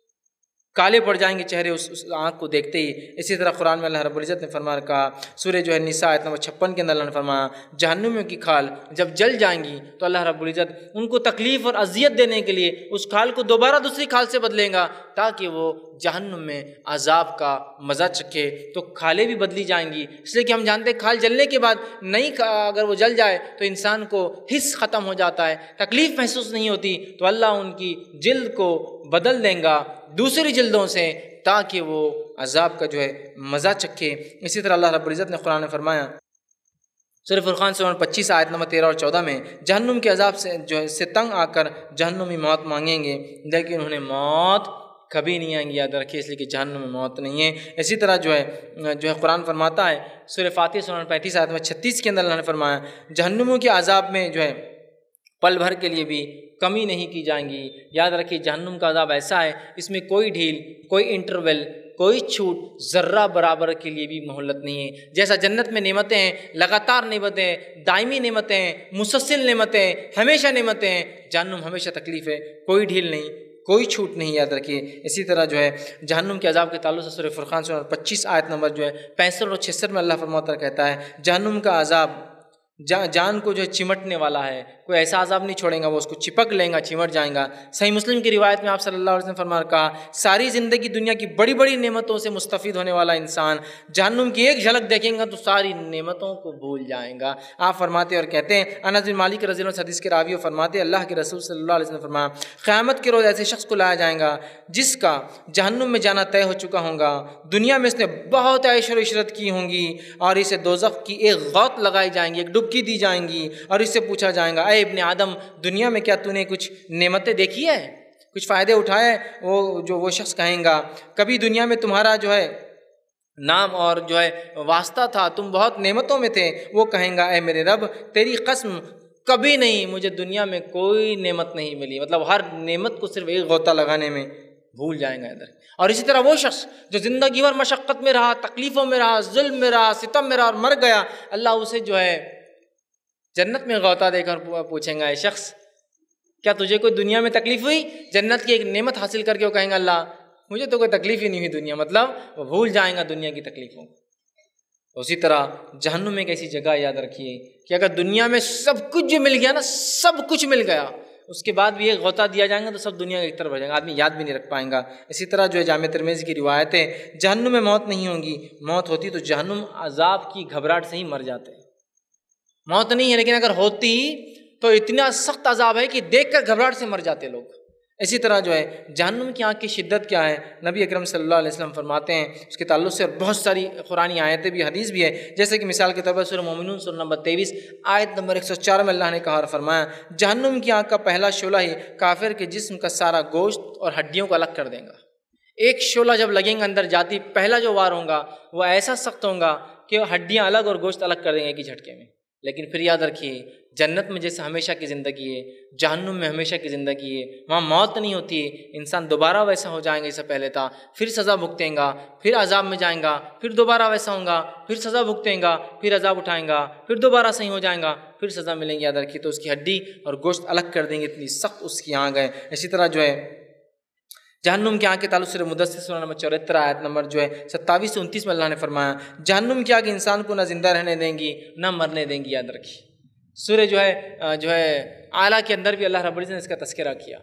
کہ اس کے اندر نہ موت ہوں گی نہ زندگی مطلب وہ ایسی زندگی ہے، مر بھی نہیں سکتا اور زندہ بھی نہیں ہوں گا۔ ایک سمجھ نا، ادمری زندگی ہے وہ جہنم کی، جو بہت سخت جگہ یاد رکھی۔ اسی طرح جو قرآن فرماتا ہے، جہنم کی اکثر مرسلہ سورہ نمبر ستتر، آیت نمبر تیس سے تینتیس میں اللہ نے کہا، نعرے جو ہے، جو جہنم کی جو آگ ہے، اس کے شعلے کا ایک معمولی چنگاری بھی دنیا کے ایک بڑے سے بڑے قلعے سے زیادہ بڑی ہوتی۔ ہے ایک معمولی چنگاری جو جہنم کی آنکھ کی ہوتی ہے، وہ دنیا کے بڑے سے بڑے قلعے سے بھی زیادہ بڑی ہوں گی، یاد رکھیے۔ اسی طرح جو اس کی آنکھ کے تعلق سے قرآن میں اللہ فرماتا سورہ لیل، سورہ نمبر بینو آیت میں چودہ میں، نہ جہنم کی جو آگ جو ہے مسلسل بھڑکتی رہتی ہے اور یہ کبھی ٹھنڈی نہیں پڑتی ہے۔ جب ٹھنڈی پڑتی ہے تو فرشتے تعینات ہے جو اس کو دہکاتے جاتے ہیں اور بڑھاتے جاتے ہیں۔ اسی طرح جو ہے جہنم کی آنکھ کے تعلق سے جو ہے قرآن کہتا ہے، سورہ بنی اسرائیل، سورہ نمبر سترہ، آیت نمبر ستانوے میں، جہنم کی آنکھ جیسے ہی سرد ہونے لگتی ہے، جہنم کا داروغہ اسے فوراً پھر بھڑکا دیتا ہے تاکہ جہنم اس کا مزہ چکتے رہے۔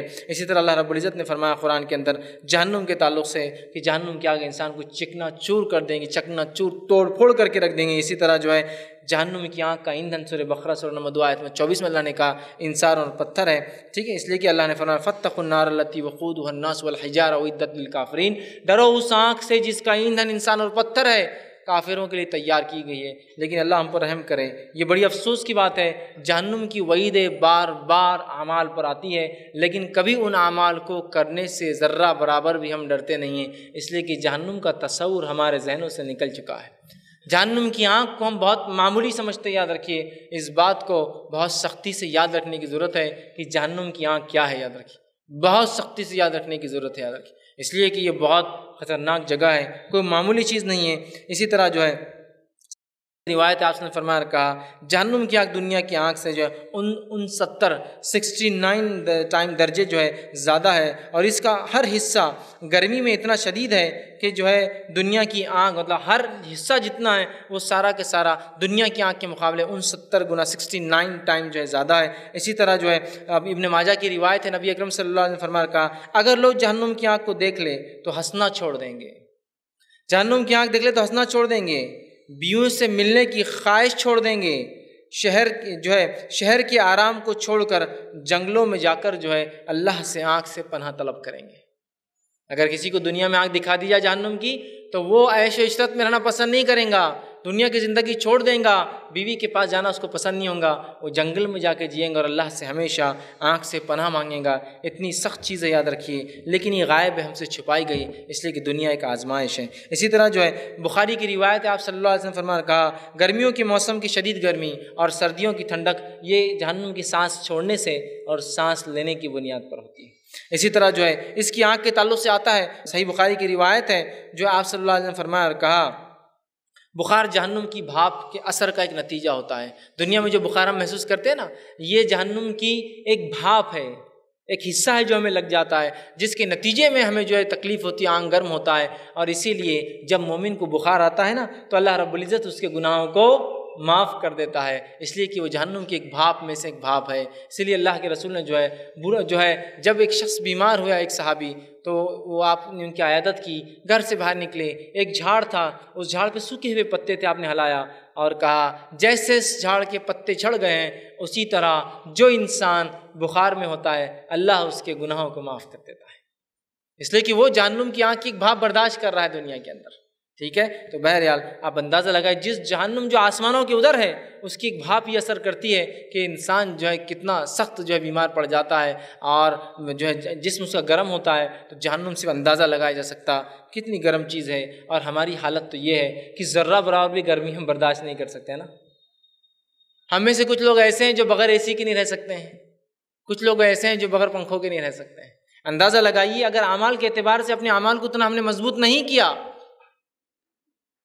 تو پھر یاد رکھیے، آخرت میں ہمیشہ ہمیشہ کی جو ہے تکلیفیں ہیں، تو کیوں ہم دنیا میں جب سہولتیں چاہتے ہیں، تو آخرت کے لیے ہم سہولتیں نہ چاہے اور اپنے جسم کو دنیا میں جیسا ٹھنڈا رکھنا چاہتے ہیں اچھا رکھنا چاہتے ہیں، آخرت کے لیے بھی ویسا رکھے یاد رکھیے۔ دنیا کی حالت تو یہ کہ ذرہ برابر بھی گرمی میں برداشت نہیں ہوتی ہے نا، اکثر لوگ بولتے ہیں، مجھ کو سب برداشت ہوتا گرمی نہیں۔ جسم گرم ہوگا تو میرا دماغ گرم ہوگا دماغ گرم ہوگا تو میری زبان جو ہے کچھ بھی کہیں گی لہٰذا مجھے یہ چیز نہیں ہے۔ اندازہ لگائیے جہنم کتنی سخت چیز ہے، لیکن اس کے معاملے میں ہم ذرہ بھی خوف یا آج کل ڈر نہیں رکھ رہے۔ اس کا نتیجہ آپ کہیں گے، نہیں نہیں، آپ کیسا کہہ سکتے ہیں؟ ہم جہنم سے نہیں ڈرتے ہیں۔ ہمارے اعمال بتاتے ہیں ہم کس سے ڈرتے ہیں اور کس سے نہیں ڈرتے ہیں، یاد رکھیں۔ اسی طرح جو ہے، جہنم کی آنکھ کے تعلق سے آتا ہے۔ یہ محتہ امام مالک کی روایت ہے جو ہے، جہنم کی آنکھ مسلسل بھڑکانے کی وجہ سے، سرخ ہونے کے بجائے سیاہ ہے، کالی ہے۔ اور یاد رکھیے، ہر آنکھ کا ٹیمپریچر کے اعتبار سے کلر چینج ہوتا ہے۔ کبھی گیس جلائیے، گیس گھر میں جو ہوتی ہے۔ اس گیس کو غور سے دیکھیے۔ گیس میں سے جو بالکل بتی نیچے ہوتی ہے، وہ اودے کلر کی ہوتی ہے۔ وہ سب سے ٹھنڈی آگ ہوتی ہے۔ اودے کے تھوڑا اوپر دیکھیے، وہ زیادہ نیلے ہونے، زیادہ اودے کی طرف جاتی ہے۔ اس کے اوپر کی لو دیکھیے، پیلے پن کی طرف ہوتی ہے۔ اس کے اوپر کی لو دیکھیے، آرنج رنگ کی ہوتی ہے۔ تندور کو دیکھیے، وہ آرنج ہوتا ہے، اس لیے کہ اس کی آنکھ تیز ہے۔ تو جہنم کی یاد اتنی گرم اتنی گرم اتنی گرم ہے کہ سارے رنگوں کو چھوڑ کر وہ سیاہ ہو چکی ہے۔ بلیک ہو چکی ہے اپنے کلر میں یاد رکھی تو اس کی آنکھ جو ہے سیاہ ہے، اسی طرح جو ہے جہنمیوں کا جہنم میں کیا حل ہوگا؟ اس کے تعلق سے تذکر قرآن و حدیث نے بڑی تفصیلی کی ہے۔ آئی چند باتیں آپ کے سامنے رکھتا ہوں۔ اللہ جو قرآن میں اللہ رب العزت سورہ انبیاء، سورہ نمبر اکیس آدمی سو میں فرماتا کہتا ہے کہ جہنم کے عذاب کی وجہ سے جہنم میں جہنم، جہنمی اونچی اونچی اور خوفناک آوازیں نکالیں گے اور ایسا شور و غل ہوگا کہ کانوں پڑے آواز نہیں آئیں گی۔ جہنمی تکلیفوں سے، اگر جہنم کی تکلیفوں کو خالی تصور کرنا ہے تو کسی انسان کو کبھی جلتے ہوئے دیکھا ہے نا تو اس سے اندازہ ہو سکتا ہے۔ کیا شدید تکلیف ہوتی ہے اور کتنا چیختا اور چلاتا ہے جبکہ اس کے جسم کا کچھ حصہ جلتا ہے اور فوراً وہ مر بھی جاتا ہے۔ پورا جسم جلنے سے پہلے اس کی موت آ جاتی ہے۔ بہت سخت عذاب ہے، یاد رکھیے۔ تو شور و غل ایسا ہوگا کہ کان پڑے، آواز سنائی نہیں دیں گی۔ اسی طرح جو ہے جہنم کے تعلق سے قرآن میں اللہ فرماتا ہے، سورہ فاتر سن پینتیس آدمی چھتیس میں، جہنم میں جہنمیوں کو نہ تو موت آئیں گی اور نہ ان کے عذاب میں کوئی کمی کی جائیں گی، چاہے وہ جتنا چیخیں گے، جتنا چلائیں گے، جتنا بھی وہ جو آہا بکا کریں گے۔ صحیح مسلم کی روایت میں آپ نے فرمان کہا، جہنم میں کافر کا ایک دانت، وہ تکلیف اور اذیت ایسی ہوں گی کہ ایک انسان کا جسم کان سے لے کر کاندھے تک ستر سال اور ایک روایت میں ہے کہ ایک کافر کا ایک دانت شاید اس کے گناہوں کی وجہ سے، اس کی شدت کے سے، ایک داڑ اہت پہاڑ سے زیادہ بڑی ہوں گی۔ اہت پہاڑ کم مطلب بیش نو کلو میٹر کا پہاڑ ہے۔ ایک داڑ صرف اہت پہاڑ سے بڑی ہوں گی۔ تو جسم اس سے اندازہ لگائیے کتنا بڑا ہوں گے۔ داڑ بہت چھوٹا حصہ ہوتا ہے جسم کا۔ پرپورشنیٹلی حساب لگایا جائے بہت چھوٹا حصہ ہے، پورے جسم کا۔ تو داڑھ اگر بہت پہاڑ نو کلو میٹر کی ہے، تو جسم کتنا بڑا ہوگا یہ اندازہ لگایا سکتا کتنی تکلیف اور شدید جو ہے جہنم ہے۔ اسی طرح جہنم میں کافر کی کھال کی موٹائی تین دن کی مسافت کی ہو جائیں گے تین دن۔ کھال اسکن جو ہے اتنی موٹی ہوں گی کہ تین دن لگیں گے اس کو پینیٹریٹ کرنے کو، اس کے اندر سے جا کر، اس کے اصل جسم تک پہنچنے۔ یہ اس لیے کیا جائے گا کہ اگر آپ نے کبھی یہ چیز کو محسوس کیا ہوگا کہ ہاتھ آپ کسی چیز پہ اگر لگائے تو اس کو چٹکا جلدی لگتا ہے۔ لگتا بھی جلدی اور ٹھنڈا بھی جلدی ہو جاتا ہے۔ لیکن اگر کسی کے تلوے پہ چٹکا لگے نا، تو لگتا تھوڑا دیر سے ہے اور پھر شدت بہت زیادہ ہوتی ہے۔ اس لیے کہ پیر کی جلد تھوڑی موٹی ہوتی ہے۔ جب گرم ہوتی ہے تو بہت دیر تک گرم ہوتی ہے اور اپنی تکلیف کو اندر چھوڑتی رہتی ہے جسم کے اندر۔ پیر جب گرم ہوتے ہیں انسان کے، تو تھوڑی دیر میں گرم ہوتے ہیں، لیکن بہت دیر تک اس کو پھونکنا پڑتا ہے۔ اس لیے کہ وہ ٹھنڈے نہیں ہوتے، موٹا ہے نا۔ اس کی جلد موٹی ہوتی ہے۔ پیر کی جلد ہی سب سے موٹی ہوتی ہے جسم کے اندر، چونکہ پورا وزن اس سے پڑتا ہے۔ تین دن کی مسافت لگیں گی اس جلد کے اندر جانے کے لیے اگر چیرا جائے، اتنی جلد موٹی کریں گا تاکہ وہ عذاب کا مزہ چکھے، یاد رکھیں۔ اسی طرح جو ہے، روایتوں کے اندر آتا ہے، بعض کافروں کی داڑھ بہت پہاڑ کے برابر ہوں گی اور ان کا باقی جسم بھی اس کے نسبت، اس کے پروپورشنیٹلی اتنا ہی بڑھاؤں گا۔ جہنم میں کافر کے دونوں کاندھوں کے درمیان کا فاصلہ جو ہے، تیز رفتار اگر شہ سوار، گھڑ سوار چلے تو تین دن کا ہوں گا، دو کاندھے کے بیچ اب ایک آ رہا ہے کان سے لے کر کاندھا ستر سال، یہ گناہ میں اور زیادہ ہوں گا۔ ایک آ رہا ہے ایک کاندھے سے ایک کاندھا تین دن مطلب اس کے مقابلے میں گناہ میں کم ہے۔ چونکہ اگر یہاں سے یہاں ستر ہے، تو یہاں سے یہاں اور ستر ملا لیجیے اور چہرے کا الگ ہوتا ہے پھر۔ تو یہ مختلف گناہوں کے اعتبار سے اسی طرح بعض کافروں کے کان اور کاندھے کے درمیان ستر سال کا فاصلہ ہوں گا اور ان کے جسم جو ہے، خون اور پیپ کی جو ہے، وادیاں ہوں گی۔ عبداللہ ابن عباس رضی اللہ عنہ اس تعلق سے فرماتے ہیں کہ جس شخص کے کان سے لے کر کاندھے تک ستر سال کا فاصلہ ہوں گا، اس کے جسم کے اندر خون اور پیپ کی جو ہے ندیاں نہیں، وادیاں بہیں گی، وادیاں۔ ندی سمجھتے ندی چھوٹی سی ہوتی ہے، وادیاں بہیں گی۔ جیسے دو پہاڑوں کے بیچ میں ہوتا ہے نا، پانی اگر بہیں کتنا ہوتا ہے نا؟ تو وادیاں اس کے اندر بہیں گی، خون اور پیپ کی۔ اتنا اس کو جسم کو اللہ بڑا کر دیں گا۔ اسی طرح جو ہے، جہنم میں کافر کی کھال کی موٹائی جو ہے ساٹھ ہاتھ ترسٹھ فٹ ہوں گی ایک روایت میں آتا ہے۔ ایک میں تین دن کی چوڑائی کا آتا ہے۔ دانت عہد پہاڑ کے برابر ہوں گا۔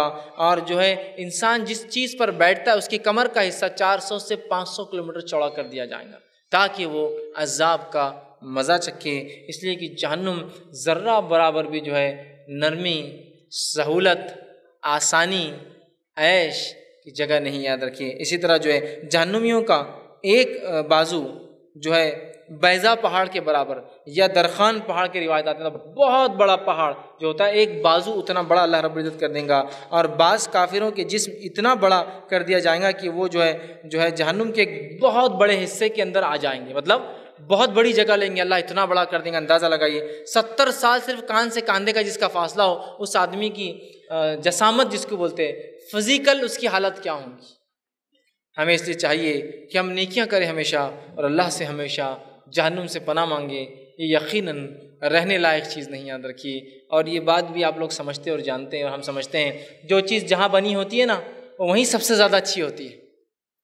ہے نہیں؟ ہے ایک کار، ایک گاڑی اگر یوروپ میں، امریکہ میں بنتی ہے، تو ہندوستان کے سڑکوں پہ اتارنے سے پہلے اس میں تبدیلیاں لانا پڑتی ہے کیونکہ یہ سڑکیں اس کے لائق نہیں ہوتی۔ جو جس جہاں بنتی ہے، وہیں ہوتی ہے۔ تو میں اور آپ ہمارے باپ جنت میں بنے تھے، ہم دنیا میں بھی نہیں رہ سکتے، اس لیے کہ ہمارے لائق نہیں ہے اور ہم جہنم میں بھی رہ سکتے، نہیں رہ سکتے، اس لیے کہ وہ بھی ہمارے لائق نہیں ہے ہم وہیں بنے تھے، وہیں رہ سکتے ہیں، اس کے علاوہ کوئی مقام ہمارے لائق نہیں یاد رکھی بہرحال، آئیے اسی طرح جو ہے، روایتوں میں جو آتا ہے، جامع ترمیزی کی حدیث ہے، آپ نے فرمان کہا، جو متکبر لوگ، جو لوگ تکبر کریں گے، ان تکبر کرنے والوں کو اللہ رب العزت جہنم میں چوٹیوں کے برابر حقیر بنا دیں گا۔ چوٹیاں ہوتی ہیں نا، چونکہ وہ دنیا میں تکبر کیا کرتے تھے؟ اللہ ان کو چوٹیوں ایسا باریک بنا دے گا اور جہنم میں ان کو جو ہے ڈال دیں گا، اس لیے کہ وہ جو ہے تکبر کرتے تھے۔ اسی طرح جو ہے جہنمی جو ہے جہنم میں حاکم کی روایت ہے، اس قدر روئیں گے آپ سے فرماتے ہیں، تکلیف سے تکلیف سے، یاد کر کر کے کہ انبیاء نے کیسی کیسی دعوت دی، کیسا انکار کیا۔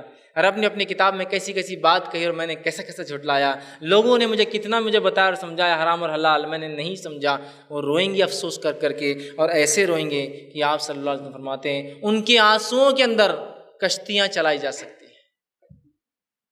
ان کی آنسوؤں میں کشتیاں چلائی جا سکتی ہیں۔ اتنے زار و خطار وہ لوگ روئیں گے۔ کتنا ہی بہتر ہے کہ ہم دنیا کی تھوڑی سی زندگی تکلیف اور اذیت میں اگر ہم سمجھتے ہیں تو۔ ویسے اللہ کی نعمتیں ہر شخص پہ اتنی زیادہ ہے۔ کہ کوئی نہیں کہہ سکتا کہ مجھ پہ اللہ کی نعمت نہیں۔ اتنی زیادہ ہے یاد رکھی اتنی زیادہ اللہ کی نعمت ہے۔ اسی کوئی انتہا نہیں یاد رکھی کہ تو اللہ کے دین پہ چلنے والے ایسے بھی بندے ہیں، ایسے بھی اللہ کے بندے ہیں جو چل نہیں سکتے، پھر نہیں سکتے، صرف سر سے اوپر کا حصہ کام کرتا ہے، لیکن پھر بھی وہ مسلمان ہیں اور دین اسلام پر چلتے ہیں۔ اور آج اللہ نے کیا کیا نعمتیں نہیں دیکھی؟ صحیح سالم جسم، آنکھیں، ہاتھ، پیر، ناک، کان، منہ صرف ایک مال نہیں دیا تو تم روتے ہو اللہ کے نام پہ کہ اللہ بڑی مصیبت مصیبت کی زندگی دی؟ آخر زندگی کو نہیں یاد کرتے اس کے مقابلے میں؟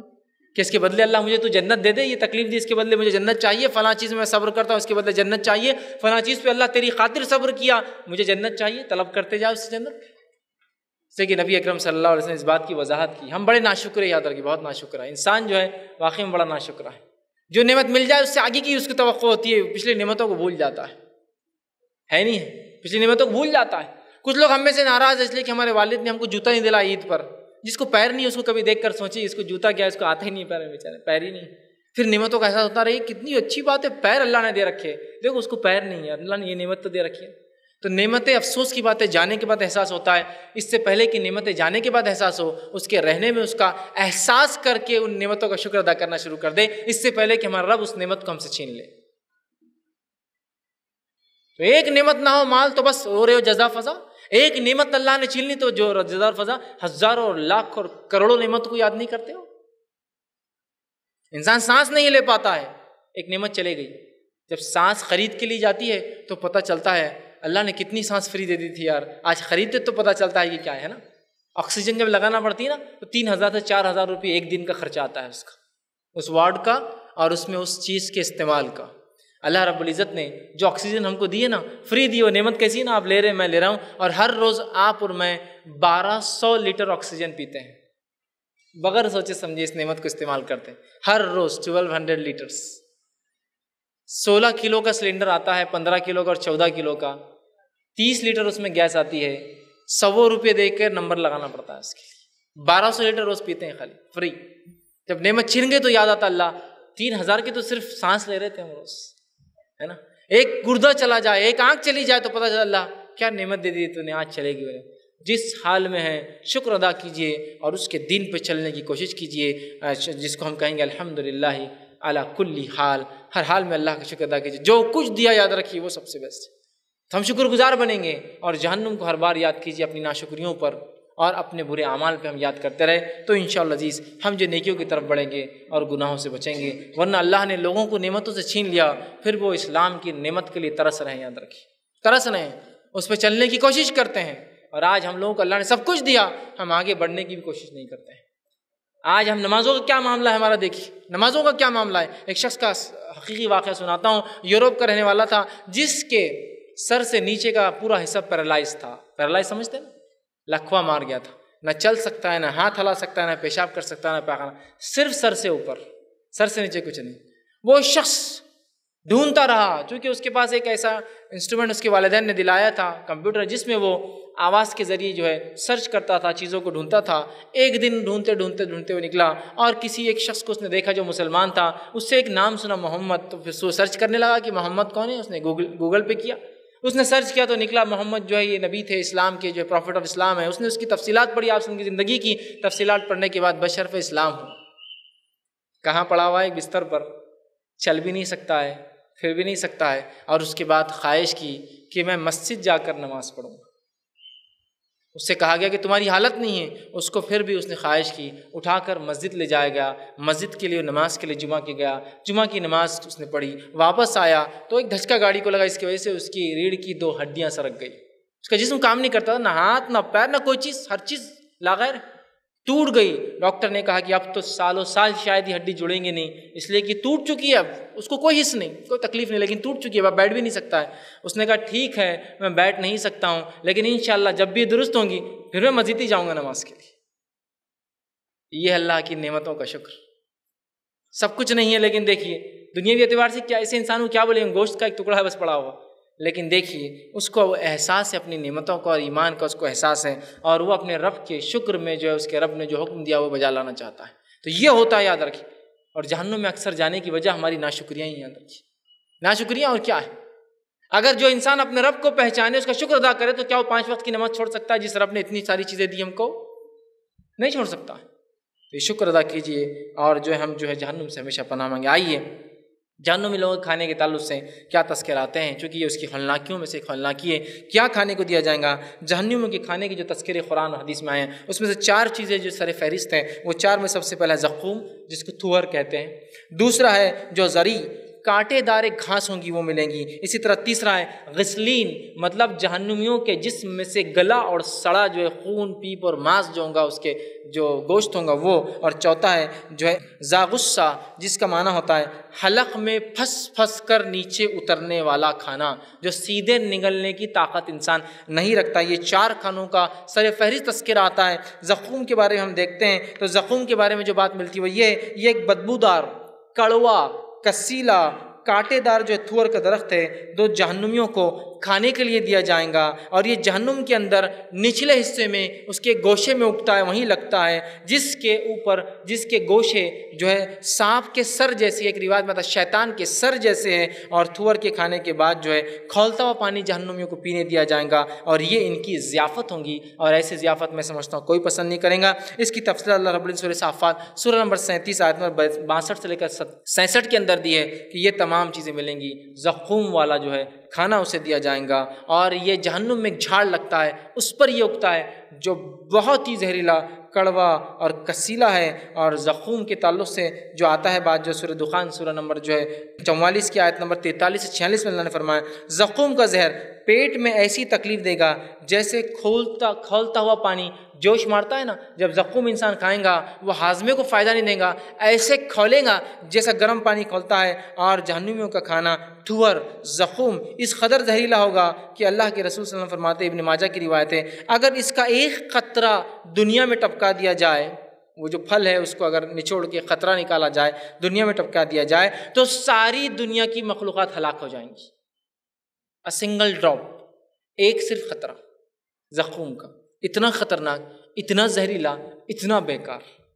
یہ ہے ضیافت اور یہ ہے کھانا جہنمیوں کا۔ دوسرا ذریع کانٹے دار گھاس، اس کے تعلق سے اللہ رب العزت فرماتا ہے سوریہ جو ہے، غاشی سورہ نمبر اٹھہتر، اٹھاسی، آیت نمبر پانچ سے لے کر ساتھ میں کہا تھور کے علاوہ جو ہے کانٹے دار گھاس جو ہے زری بھی جہنمیوں کا کھانا ہوگی جو انتہائی زہریلی اور بدبودار ہوں گی، زری کا کھانا جہنمیوں کی بھوک میں ذرہ برابر بھی کمی نہیں کریں گا، بلکہ ان کی تکلیف میں اور اضافہ کر دیں گا۔ تیسرا کھانا جو ملیں گا وہ ہوں گا غسلین ہے، جو ہے جہنمیوں کے زخموں کی دھوئی ہوئی غلازت۔ جو جسم میں سڑے ہوئے زخموں میں سے جو جہنم میں لوگ جل رہے ہوں گے، جسم سڑے ہوئے ہوں گے، اس میں سے غلازت نکلیں گے، فرشتے اس کو جمع کریں گے، جمع کر کے اس کو کھانا بنا کر دیا جائے گا، جس کے تعلق سے سور حق کا سورہ نمبر جو انستر، آیت نمبر جو پینتیس سے سینتیس میں اللہ نے کہا، جو ہے زخوم اور زری کے علاوہ جہنمیوں کے جسم سے بہنے والا غلیظ اور گندا مادہ بھی جہنمیوں کو کھانے کے لیے دیا جائے گا۔ چوتھی چیز جو ہے جو ہے وہ ہے، زاغصہ، حلق میں پھنس کر اترنے والا کھانا جو چوتھی چیز جو دی جائیں گی جہنمیوں کو اس کے تعلق سے قرآن نے سورہ جو ہے مزمل سورہ نمبر ترہتر آیت نمبر بارہ سے تیرہ میں کہا، جو ہے کہ جو ایک بدبودار کھانا دیا جائے گا، جو ان کے حلق میں سیدھے نہیں اتریں گا، بلکہ پھنس پھنس کر اتریں گا اور فرشتے اس کو ٹھوس ٹھوس کر اندر ڈال رہے ہوں گے۔ تو جہنم میں پانی مانگیں گے، کھانا مانگیں گے، لیکن ان کو نہ کھانا دیا جائیں گا، نہ پانی دیا جائیں گا جو کچھ کھانے کو ملیں گا، یہ چار چیزوں کا تذکرہ آتا ہے، یہی ان کی غذا ہوں گی۔ اللہ ہم ہم پر جو ہے رحم کریں۔ اور ان کے مشروبات، ان کے پینے کی چیزوں کے تعلق سے جو آتا ہے کہ جہنمیوں کو پینے کی جو چیزیں ملیں گی، پانچ چیزیں سر فہرست آتی ہے جو جہنمیوں کو پینے دی جائیں گی۔ پہلی چیز جو ہے معاون حمیم، کھولتا ہوا پانی۔ دوسرا جو ہے معاون شدید، زخموں سے بہنے والا پیپ اور خون۔ جو پھر تیسرا فرمایا معاون کل محل تیل کی تلچھٹ۔ تیل ہوتا ہے نا، اس کی تلچھٹ جو ہوتا ہے، خراب تیل۔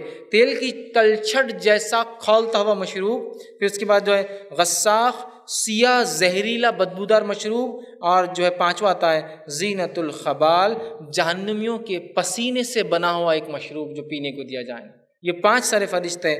اب پہلا معاون حمیم، کھولتا ہوا پانی دیکھیے۔ تھور کے کھانے کے ساتھ جو پینے کو پانی دیا جائے گا، وہ کھولتا ہوا پانی ہوگا جس کے تعلق سور صافہ سور نمبر سینتیس سینتیس اور آیت نمبر چھسٹھ اور سینسٹھ میں اللہ نے فرمایا۔ اسی طرح جو ہے، کھولتا ہوا پانی جو دیا جائے گا سور محمد سور نمبر سینتالیس، آیت پندرہ میں اللہ نے فرمایا۔ کھولتا ہوا پانی پیتے ہی جہنمیوں کی آتے کٹ جائیں گی اور پیٹ میں سے نکل کر باہر گر جائیں گی۔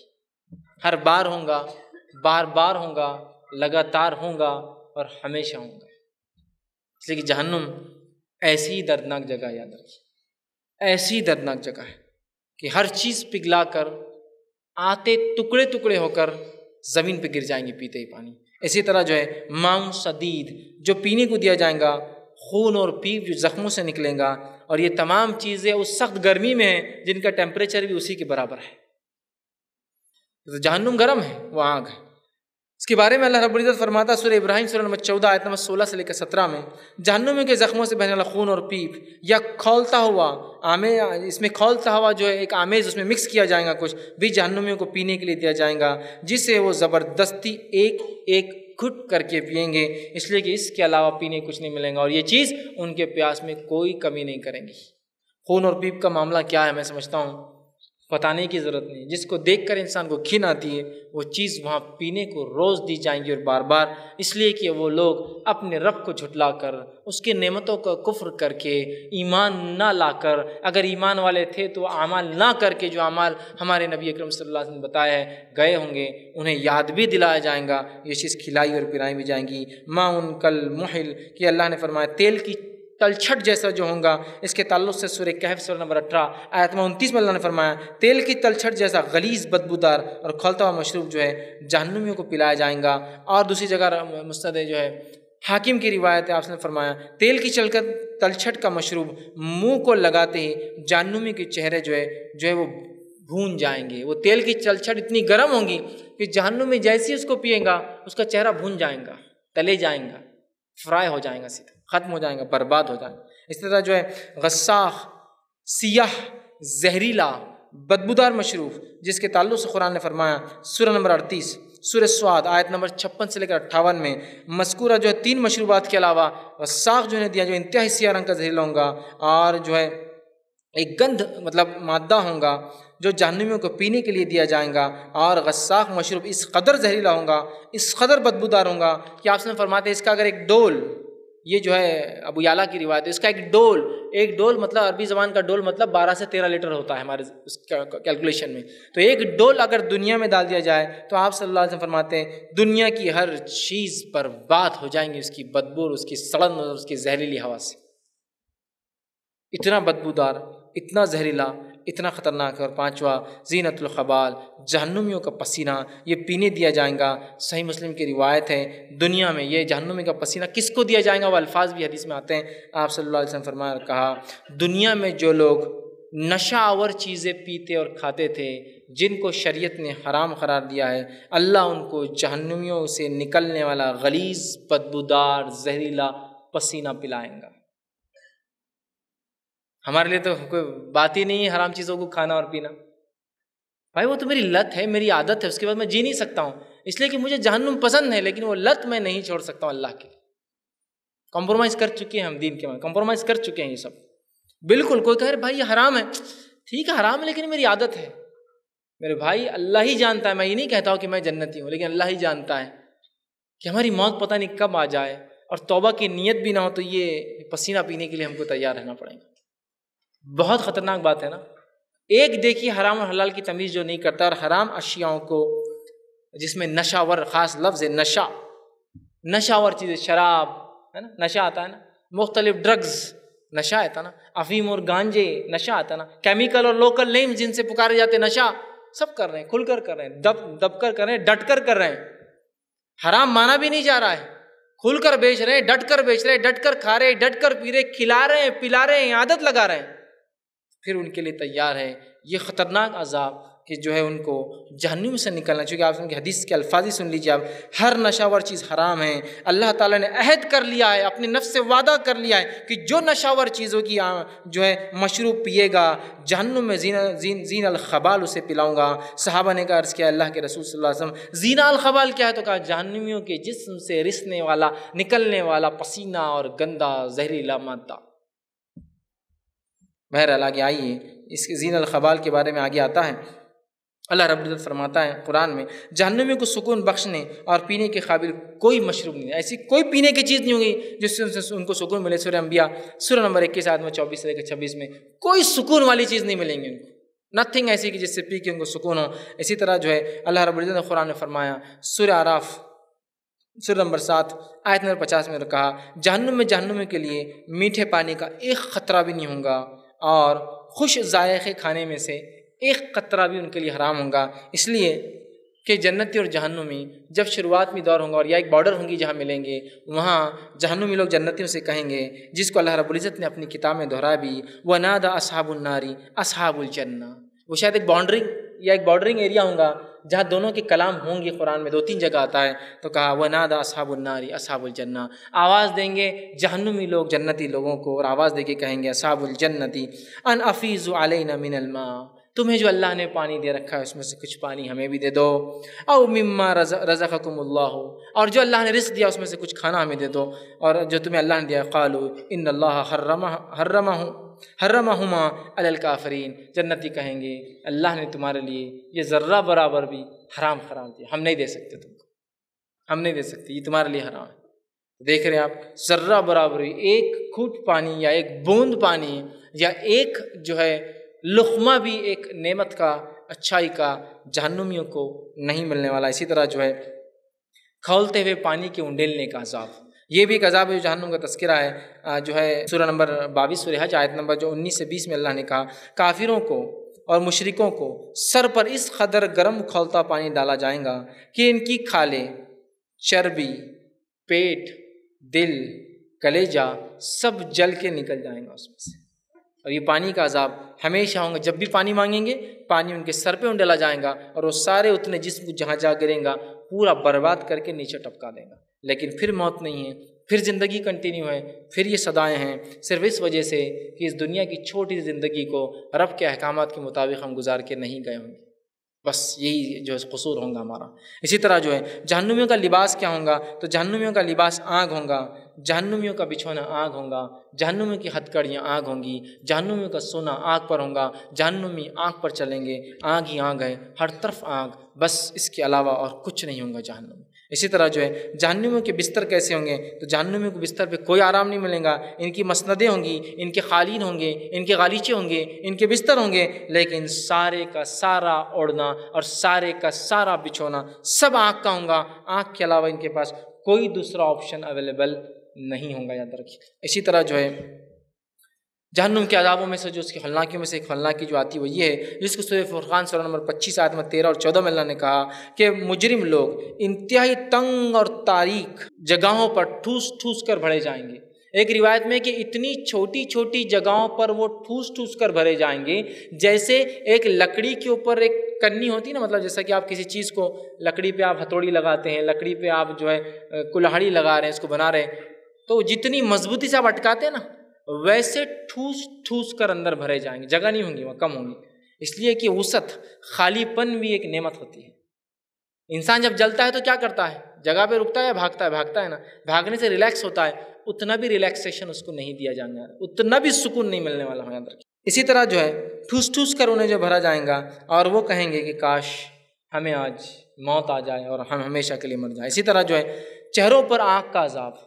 جہنمیوں کو جو عذاب ملیں گا اس میں سے ایک عذاب یہ ہے جس کو اللہ رب العزت نے اپنی کتاب کے اندر دہرایا اور سورہ حضاب سورہ نمبر تینتیس، آیت نمبر جو ہے، چھسٹھ سے اڑسٹھ نے فرما کہا، جہنمیوں کے چہرے جہنم میں آنکھ پر الٹ پلٹ کے جو ہے بھونے جائیں گے، فرشتے ان کو آنکھ پر الٹ پلٹ کریں گے۔ حالانکہ وہ آنکھ میں ہی ہے لیکن اس میں اور تکلیف کے لیے آنکھ پر انہیں الٹ پلٹ کیا جائیں گا۔ اسی طرح جو ہے، اللہ رب العزت قرآن نے فرماتا ہے کہ فرشتے جو ہے کافر لوگوں کو آنکھ پر اتنا تپائیں گے اور ساتھ کہیں گے، مزہ چکے عذاب کا جس کا دنیا میں تم انکار کرتے تھے۔ یہ بات سورہ زاریہ، سورہ میں اکاون، آیت نمبر لوہ دس سے لے کے چودہ میں اللہ نے فرمائی، کہ انہیں عذاب دیا جائیں گا، عذاب میں تپایا جائیں گا اور کہا جائیں گا، یہ ہے وہ عذاب، اسے خوب اچھے سے چکھو، اس لیے کہ تم اسی کا دنیا میں انکار کر کے یہاں آئے تھے۔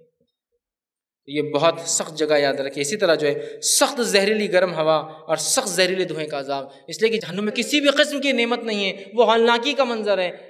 سانس جو لی جائیں گی دی جائیں گی، وہ زہریلی چھوڑی جائیں گی اور سادی ہوا نہیں ہوں گی، دھوئیں بھری ہوا ہوں گی، اس لیے کہ دھوئیں کے اندر سانس لینا ناممکن ہوتا ہے۔ زہریلی ہوا، اس پر دھوئیں والی ہوا ہوں گی۔ اس لیے کہ اللہ رب العزت نے قرآن میں فرمایا، سورہ جو ہے واقعہ، سورہ نمبر چھپن آیا تمہارے اکتالیس سے چوالیس کے اندر، بعض مجرموں کو زہریلی گرم ہوا کے تھپیڑوں اور کالے دھوئیں سے جو ہے کہ ان کے اوپر جو ہے وہ ہوا دی جائیں گی، جس میں وہ مبتلا ہوں گی۔ مطلب سانس لیں گا تو مشکل زہریلی سانس جو ہے صرف زہریلی نہیں، دھوئیں دار ہے جس سے انسان کو بہت تکلیف ہوتی ہے اور وہ بھی کالا دھواں۔ آپ جانتے ہیں دھواں اگر کالا ہو تو اسے تکلیف اور سانس لینے مشکل ہوتی ہے، اور زیادہ اذیت ملیں گی۔ اسی طرح جو ہے جہنم میں جو عذابات، اس میں ایک عذاب جو ہے، آنکھ کا ایک پہاڑ ہے، جس کا نام جو ہے حدیث میں یوں آتا ہے، یہ ابو جو ابو یالا کی روایت ہے، جس کا نام ہے سعود نام اس کا آتا ہے۔ نبی اکرم صلی اللہ علیہ وسلم فرمایا، جہنم میں ایک پہاڑ کا نام سعود ہے، جس پر کافر ستر سال کی مدت تک چڑھیں گے۔ ان کو سزا ایسی ہوں گی، ستر سال اونچا ہو ستر سال چڑھیں گے، پھر ان سے نیچے گرے گا اور دوبارہ ستر سال اس کو پھر چڑھنا ہوگا، پھر وہ نیچے گریں گا، پھر دوبارہ ستر سال اسے چڑھایا جائیں گا۔ ایک تو آنکھ کا پہاڑ، اس پر چڑھائی، اس پر ستر سال تک ہاتھوں اور پیروں سے چڑھنا ہے۔ چڑھنے کے بعد عذاب ختم نہیں ہوگا، پھر گرایا جائیں گا، پھر چڑھایا جائیں گا، پھر گرایا جائیں گا، پھر چھڑایا جائیں گا۔ ہمیشہ ہمیشہ کے لیے وہ ایسے ہی عذاب میں رہیں گا۔ اسی طرح جو ہے، جہنم میں جو عذاب ہے، ان عذاب میں سے ایک عذاب ہے۔ جہنم میں لوہے کی ہتھوڑوں کا اور لوہے کے گز کا عذاب ہے۔ یہ لوہے کے ہتھوڑے اور لوہے کے گز کا عذاب اس شخص کو دیا جائیں گا جو اللہ کی کتاب کو دنیا میں نہ پڑھتا تھا، نہ سمجھتا تھا۔ آج ہمارا معاملہ یہ اللہ کی کتاب کے ساتھ۔ اور یہ عذاب جہنم میں تو ہے ہی، دنیا سے شروع ہوتا ہے۔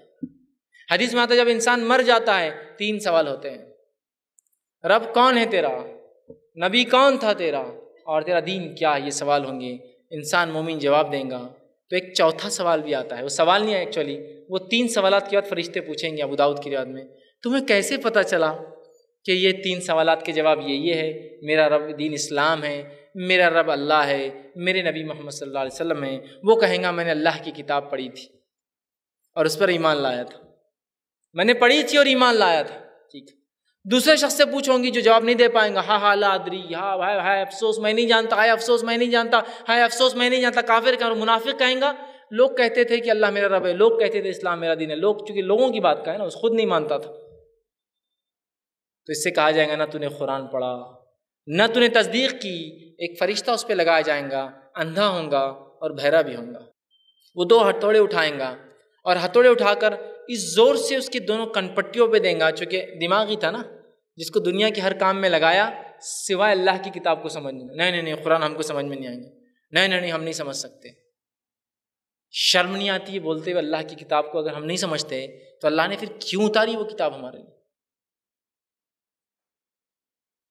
اور ایسا لگتا ہے سسٹمیٹیکلی لوگوں نے ہم کو اس سے دور رکھنے کے لیے پورے منصوبے پلان بنا دیے، ہمارے ہی لوگوں نے۔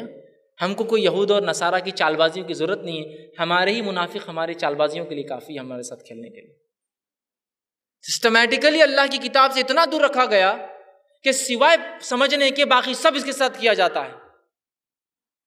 جھگڑا ہو تو ختم کے لیے لایا جا رہا ہے، بیمار ہو تو پڑھ کر بھوکا جا رہا ہے کوٹ کے اندر اسے اٹھایا جا رہا ہے اور سب کچھ کیا جا رہا ہے۔ سوائے اس سے یہ فائدہ اٹھایا کہ اس کو سمجھے باقی سارے فائدے اٹھائے جا رہے ہیں سمجھ لیں گے تو پول کھل جائیں گی۔ میں ایک مثال دوں آپ کو اس بات کی۔ سنیے میری مثال۔ نبی اکرم صلی اللہ علیہ وسلم کے زمانے کے کفار ہے۔ اللہ کی کتاب پڑھی جاتی ہے، سیدھے اخلوں میں جاتی ہے، سننا نہیں چاہتے ہیں شور مچاتے، گل کرتے ہیں چیختے اور چلاتے ہیں۔ تو بات سنے آ رہی ہے، سمجھ میں آ رہی ہے چیخ اور چلاؤ۔ تو یہاں رسول اکرم صلی اللہ علیہ وسلم رات کی نمازیں پڑھ رہے ہیں۔ کعبے کے اندر یہ چیختے تھے، چلاتے تھے کہ یہ کیا ہو رہا ہے؟ اس لیے کہ ان کو سیدھے سمجھ میں آتا تھا۔ عمر ابن خطاب کہتے ہیں ایمان لانے سے پہلے میں ایک مرتبہ صبح ہو گئی۔ اور جب صبح ہوئی تو میں ایک طرف اور ابو جہل دوسری طرف، ہم دونوں قرآن سن رہے تھے۔ سیدھے سمجھ میں آتا ڈائریکٹ جا رہا تھا اندر۔ دونوں اٹھے اور کہا، کل سے نہیں آئیں گے، یہ غلط ہے۔ پھر وہ کہتے، یہ کہنے کی بات بھی وہ بھی کئی بار آیا اور میں بھی کئی بار اور دونوں صبح پکڑے گئے۔ صبح تک مطلب اتنے گل سننے میں کہ تو اللہ کلام سیدھے سمجھ میں آ رہا ہے کہ صبح ہو گئی تو پھر وعدہ کیا نہیں، کل سے نہیں آئیں گے سننے۔ اور کئی مشرقین رات میں آ کر قرآن سنتے تھے چونکہ سیدھے سمجھ میں آتا تھا۔ اور باقی کیا کرتے تھے؟ شور مچاؤ۔ گل کرو، چلاؤ ناچنے والیوں کو لا کر کھڑے کرو تاکہ یہ لوگ جا کے سنیں نہ اور محمد صلی اللہ علیہ بات نہ مانے آج ہمارا حال کیا دیکھیے، مثال دے رہا ہوں صرف سمجھنے کے لیے، کسی پہ الزام نہیں، کسی پہ الزام نہیں سوائے اپنی نفس کے۔ ہم نے ہی نہیں کیا کچھ۔ دوسرے جواب دیں گے ان کے اعمال کا، مجھے اپنا دینا ہے نا۔ آج اگر یہ ہو کہ اللہ کی کلام کو پڑھنا ہے، مسجد میں ہو، گھر پر ہو، محلے میں ہو، کوئی اختلاف ہوگا کوئی اختلاف ہوگا بالکل نہیں۔ پڑھنا ہے نا۔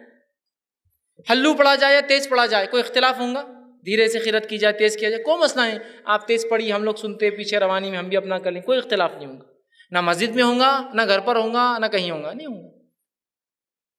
اختلاف نہیں ہے، کہیں بھی پڑھا جائے، کیسے بھی پڑھا جائے، کوئی اختلاف نہیں۔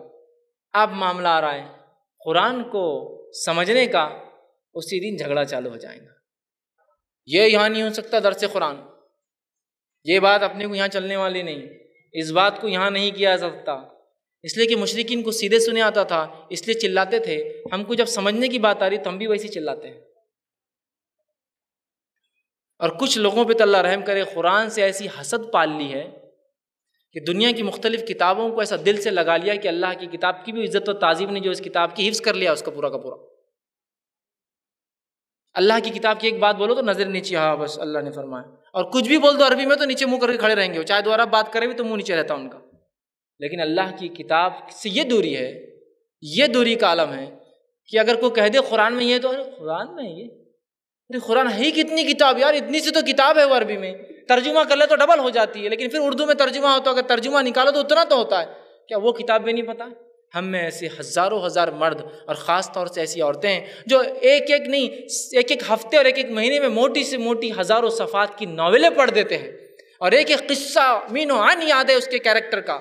یہ کیریکٹر نے یہاں یہ کیا، وہاں فلاں تھا، یہ یہ تھا، یہ مصنف یہ لکھتا ہے وہ مصنف نے یہ لکھا، پہلے اس میں یہ تھا، دوسری کتاب میں ایسا لکھا، یہ سیریز اچھی تھی، وہ سیریز اچھی تھی۔ لیکن اللہ کی کتاب کا یہ حال ہے کہ ایک مرتبہ بیس سے پچیس نوجوان جن میں میں بھی شامل تھا ایک مقام پہ بیٹھے اور ایک شخص دوڑا دوڑا آیا اور آ کر کہا، مجھے ایک سوال کرنا ہے، کیا قرآن کے اندر کوئی نور علیہ السلام ہے؟ نور علیہ السلام۔ پچیس مسلمان نوجوان۔ ایک کو بھی نہیں پتا کہ نور ہے یا نہیں اس کے اندر۔ حالانکہ پچیس انبیوں کی تذکر قرآن میں سے ٹوینٹی فائیو۔ ایک کو بھی نہیں پتا۔ اللہ ہم پر رحم کرے۔ فٹ بال ورلڈ کپ ہوا ہے نا؟ ایک ایک ٹیم کے کھیلنے والے اور ایکسٹرا پلیئرس کے بھی نام پوچھوں گا نا، فہرست کے ساتھ لوگ آ کے بول سکتے یہ ٹیم میں اتنے تھے اور ایکسٹرا اتنے تھے۔ صرف پچیس امبیوں کے نام ہیں، پچیس ہی ستارے ہیں جن کے نام اللہ نے لیے، پچیس رسول کے نام امبیوں کے ہیں۔ ہم کو کسی کو بھی نہیں آتے کرکٹ ٹیم کے پورے نام یاد تھے ایکسٹراس کے نام یاد تھے۔ اٹھانو میں کون سے میچ میں کون تھا؟ ستانو میں کس نے کیا کھیلا؟ چورانو کی جو ورلڈ کپ میں کون تھا؟ وہ سب یاد تھا، لیکن اللہ کے پچیس امبیوں کے نام یاد نہیں تھے۔ مشورہ کیا گیا، کیا کیا جائے؟ طے ہوا کہ نور تو کوئی سمجھ میں نہیں آ رہا ہے یا نہیں، واللہ عالم، چھوڑ دو اس مسئلے کو۔ نوح بول کر ایک ایک نام آتا ہے، اتنا سنے ہوئے ہے کہ ساڑھے نو سو سال کچھ تو بھی دعوت واتا کام کیے اور ان کا نام نوح تھا۔ لیکن نور کے بارے میں واللہ عالم۔ شور نہیں تھے کہ ہے یا نہیں۔ یہ اللہ کی کتاب سے دوری کا حال ہے۔ یہ اللہ کی کتاب سے یہ اللہ کی کتاب سے دوری والوں کی سزا ہے۔ کن پٹی پہ دیں گا ہو یہی تھا نا مرکز۔ نہیں میں تو ایک جٹ آدمی ہوں، جاہل آدمی ہوں۔ ارے تو جٹ اور جاہل بولتا ہے اپنے آپ کو، تو سوفیسٹیکیٹڈ سے سوفیسٹیکیٹڈ گاڑیوں کے انجن کھول کر بناتا ہے۔ اللہ تجھ سے سوال نہیں کرے گا، تو نے دنیا کی گاڑیوں مہارت حاصل کی، جو کہ بہت جٹل اور مشکل تھی۔ لیکن میرے کرام کو سیکھنے کو کبھی محنت نہیں، کوئی استاد نہیں پکڑا تو نے جا کر۔ تو نے سب کچھ کیا دنیا کی، ہر چیز میں مہارت حاصل کی۔ تو نے کبھی کوئی استاد نہیں پکڑا میری کتاب کو سیکھنے، میرے دین کو سمجھنے کے لیے۔ نہیں نہیں نہیں نہیں نہیں۔ قرآن کو سمجھنے کو چودہ علوم لگتے، پندرہ لگتے، پچاس لگتے۔ میں ان پورے علوم کو تسلیم کرتا ہوں۔ ہاں قرآن کی تفسیر کو اتنے علوم لگتے ہیں، قرآن کو سمجھنے کو نہیں۔ میں تفسیر کی بات نہیں کر رہا ہوں، پڑھنے کی بات کر رہا ہوں صرف کتاب کو۔ وہ مفسر جس کو چالیس، پچاس، سو، دو سو علوم تھے، اس نے اس کا ترجمہ کیا۔ میں ترجمہ پڑھنے کی بات کر رہا ہوں، بھائی میرے، تفسیر کرنے کی بات نہیں کر رہا ہوں۔ تو ترجمہ پڑھنے پہ بھی جھگڑا ہے۔ ارے، جس کا چاہو پڑھو پڑھو اللہ کی کتاب کو۔ تو یہ ہتھوڑے اسی کے لیے دیے جانے والے۔ یہی مرکز تھا نا؟ اور ایک روایت میں گز لے کے ایک فرشتہ آئیں گا جو بیچ میں کھڑا ہوں گا۔ اگر دونوں روایتوں کو ملا لے تو ایک کنپٹی پہ دیں گا اور ایک سامنے سے سر پر دیں گا۔ حدیث میں وہ ایک گز اٹھائیں گا، لوہے کی سلاخ۔ اور اٹھا کر اس زور سے ماریں گا اس کے سر پر کہ اس کا سر ذرات میں تبدیل ہو جائیں گا پارٹیکلس بن جائیں گے اڑ جائیں گا۔ اور اتنا زور سے وہ چلائیں گے، زمین سے لے کر آسمان تک انسان اور جن چھوڑ کر ہر مخلوق اس کی چیخ سنے گی۔ اور آپ نے فرمایا حدیث میں کیا میں تمہیں بتا دوں وہ گز کیسی ہوں گی؟ صحابہ نے کہا، بتائیے کیسی ہوں گی؟ تو کہا، اگر ساری انسانیت بھی مل جائے اور سارے جن پہلے سے آخر تک سب ایک جگہ جمع ہو اور اسے گز کو ہلانا بھی چاہے، تو تم ہلا بھی نہیں سکتے۔ فرشتوں کی طاقت بہت زیادہ تھی۔ ایک ہی فرشتہ جو مار رہا ہے، کتنا طاقتور ہے۔ تو ہتھوڑوں کا عذاب، لوہے کے بھاری بھرکم ہتھوڑے اور گزوں سے مجرموں کے سر کچھ لے جائیں گے، جس کو اللہ رب العزت نے سورہ حج، سورہ نمبر باویس آیت نمبر اکیس اور باویس میں کہا۔ اسی طرح ابو اعلیٰ کی روایت ہے۔ آپ صلی اللہ علیہ نے فرمایا، جہنم میں کافروں کے کو سزا دینے کے لیے لوہے کے گس اس قدر بھاری ہوں گے کہ روئے زمین کے سارے جن اور انس بھی مل جائے، تو اس ایک ہتھوڑے یا اس ایک گز کو وہ موو بھی نہیں کر سکتے، ہلا بھی نہیں سکتے۔ تو اللہ کی کتاب یہ جہنم سے نجات کا ذریعہ ہے۔ جہنم سے نجات یہ جنت میں داخلے کی کنجی ہے۔ اس کو تھام لیں۔ اور جو اس سے روکے آپ کو پڑھنے سے، میں کسی کا نام نہیں لے رہا ہوں۔ جو اس سے روکے آپ کو پڑھنے سے، سمجھ جائیے حقیقی دشمن کون ہے آپ کا۔ اللہ کی کتاب سے تم روکتے ہو۔ یہ علوم کی بات تم اس میں کرنا جو تفسیر کرنے بیٹھتا اللہ کی کتاب کی، ہم صرف ترجمہ پڑھنے کی بات کر رہے ہیں۔ اور سمجھنے کی، لیکن حسد اور جلن کا ہی معاملہ ہے۔ ارے اگر لوگ پڑھ لیں گے تو پھر میری ضرورت کہاں محسوس کریں گے آپ لوگ یہاں آنے کی؟ سبھی تو آپ ہوشیار ہو جائیں گے، پھر اگلے سال اجتماع کہاں پائیں گا تو آپ کو جاہل رکھنا میرے لیے انتہائی ضروری ہے تاکہ آپ جاہل رہیں گے تو اگلے سال پھر آئیں گے اور میں پھر آپ کو سکھاؤں گا۔ میری اہمیت تھوڑی کھونا ہے مجھے۔ چودراہٹ میری تھوڑی ختم ہونے دینا آپ کے سامنے بول کر کہ آپ سمجھ سکتے اللہ کی کتاب۔ اور ایسے ہیلے اور ایسے بہانے اور ایسے روڑے ایسا لگتا ہے ڈال دیے جیسا وہ ریس ہوتی ہے نا ہڈل ایک آدمی بھاگتا ہے تو بیچ میں ہڈلس ہوتے ہیں، بیچ میں کچھ کچھ چیزیں رکھی جاتی ہیں، اس پہ سے کود کے جانا پڑتا ہے۔ تو قرآن پڑھنا آج امت مسلمہ کے لیے بہت بڑا ہڈل ہے۔ آخر میں آدمی بولتا ہے، اس کو بند کرو اور اس کو رکھ دو، اس لیے کہ نہ اس کو پڑھا جا سکتا ہے، نہ اس کو سمجھا جا سکتا ہے۔ پھر اللہ کی کتاب ہے، پھر ہدایت ہے۔ اور جو لوگ کہتے ہیں نا، اور کچھ لوگ تو حال ہی اللہ رحم کرے کہ قرآن پڑھنے سے وہ تو بیچارے گمراہ ہو جاتے ہو۔ ان کا تو عجیب ہی معاملہ ہے۔ اللہ اپنی کتاب کی شروعات کرتا ہے سور فاتحہ دعا ہے۔ دعا کے بعد کہتا ہے علی فلامیم ذالک الکتاب اللہ رہی بفی حد المطقین علی فلامیم اس کتاب کا اللہ کی طرف سے ہونے میں کوئی شک نہیں، ہدایت ہے متقین کے لیے۔ ان کو شرم نہیں آتی، اپنے منہ سے بولتے ہو نہیں قرآن پڑھے تو گمراہ ہو جاتے۔ میں کہتا ہوں، بھائی، اللہ تیری نیت نے برکت دے، جو تو جس نیت سے پڑھے، تجھے اللہ وہ دے دے۔ تیری گمراہی ہے تو تو گمراہ۔ میں ہدایت کی نیت سے پڑھتا ہوں تو میں ہدایت پہ آ جاؤں۔ اور یہی لوگ جو بولتے ہیں، قرآن کو پڑھنے سے گمراہ ہو جائیں گے، دوسری کتابیں پڑھو۔ یہی قصے سناتے ایک انگریز تھا۔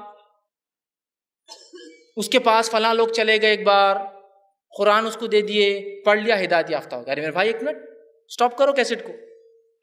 آپ نے بولے، قرآن میں پڑھوں گا تو گمراہ ہو جاؤں گا؟ ٹھیک ہے۔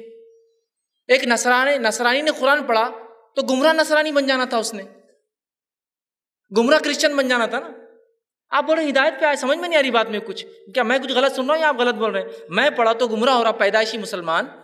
ایک نسرانی کرسچن ایمان لا رہا اچھا ایک بہت کٹر یہودی تھا۔ اس نے قرآن پڑھا، ایمان لایا۔ ایک منٹ منٹ کیسٹ پھر روکو تھوڑا سا یہاں؟ آپ نے ابھی کہا کہ میں پڑھوں تو گمراہ ہو جاؤں گا۔ وہ کٹر یہودی تو اور کٹر یہودی بچ جانا تھا جو گمراہ ہو جانا تھا نا اس نے۔ آپ نے کہا نہ پڑھے تو گمراہ ہوتے۔ اس کو تو چالیس بھی علم نہیں ہوں گے، پچاس بھی علم نہیں ہوں گے، ایک بھی علم نہیں تھا بیچارے کو۔ انگلش پڑھاؤں گا تو انگلش کا علم ہوں گا پھر کیسا وہ ہدایت یافتہ ہو رہا ہے؟ عجیب بات ہے، میں گمراہ ہو رہا ہوں، پڑھ کے میرے گھر کی کتاب اور وہ پڑھتے ہیں تو وہ ہدایت یافتہ ہوتے ہیں۔ جو کہتے ہیں نا، لوگ گمراہ ہوتے ہیں یہ قصے سناتے ہیں کہ لوگ ہدایت یافتہ ہو رہے ہیں۔ بات کچھ سمجھ میں نہیں آ رہی بھائی میرے کچھ۔ کہیں نہ کہیں ہے، کچھ تو ہے جس کی پردے داری ہے، اس کو بولتے ہیں کچھ تو ہے جو چھپایا جا رہا ہے ہم سے۔ اللہ کی کتاب کو اٹھا لیں، اس کی تلاوت کے ساتھ پڑھنا معمول بنا دیں۔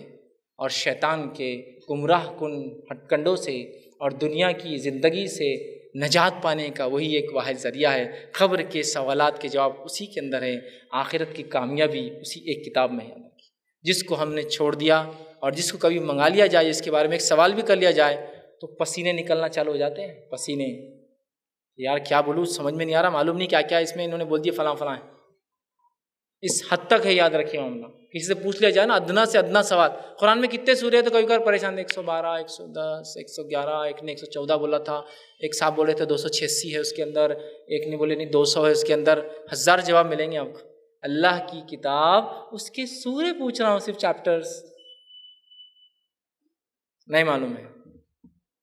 نہیں معلوم ہے یاد رکھیے بہت یہ سخت چیز ہے نجات کی چیز کوئی چھوڑ بیٹھے ہیں اور باقی سب چیزیں تھامی بہرحال، جہنم میں جو سانپ اور بچھوؤں کا عذاب ہوں گا، آپ فرماتے ہیں مستد احمد کی روایت ہے، جہنم کے سانپ اونٹوں کے برابر ہوں گے۔ جو ایک مرتبہ اگر ایک شخص کو ڈس لیں گے، چالیس سال اس کی تکلیف اپنے رگوں میں، اس کے جسم میں محسوس کریں گا۔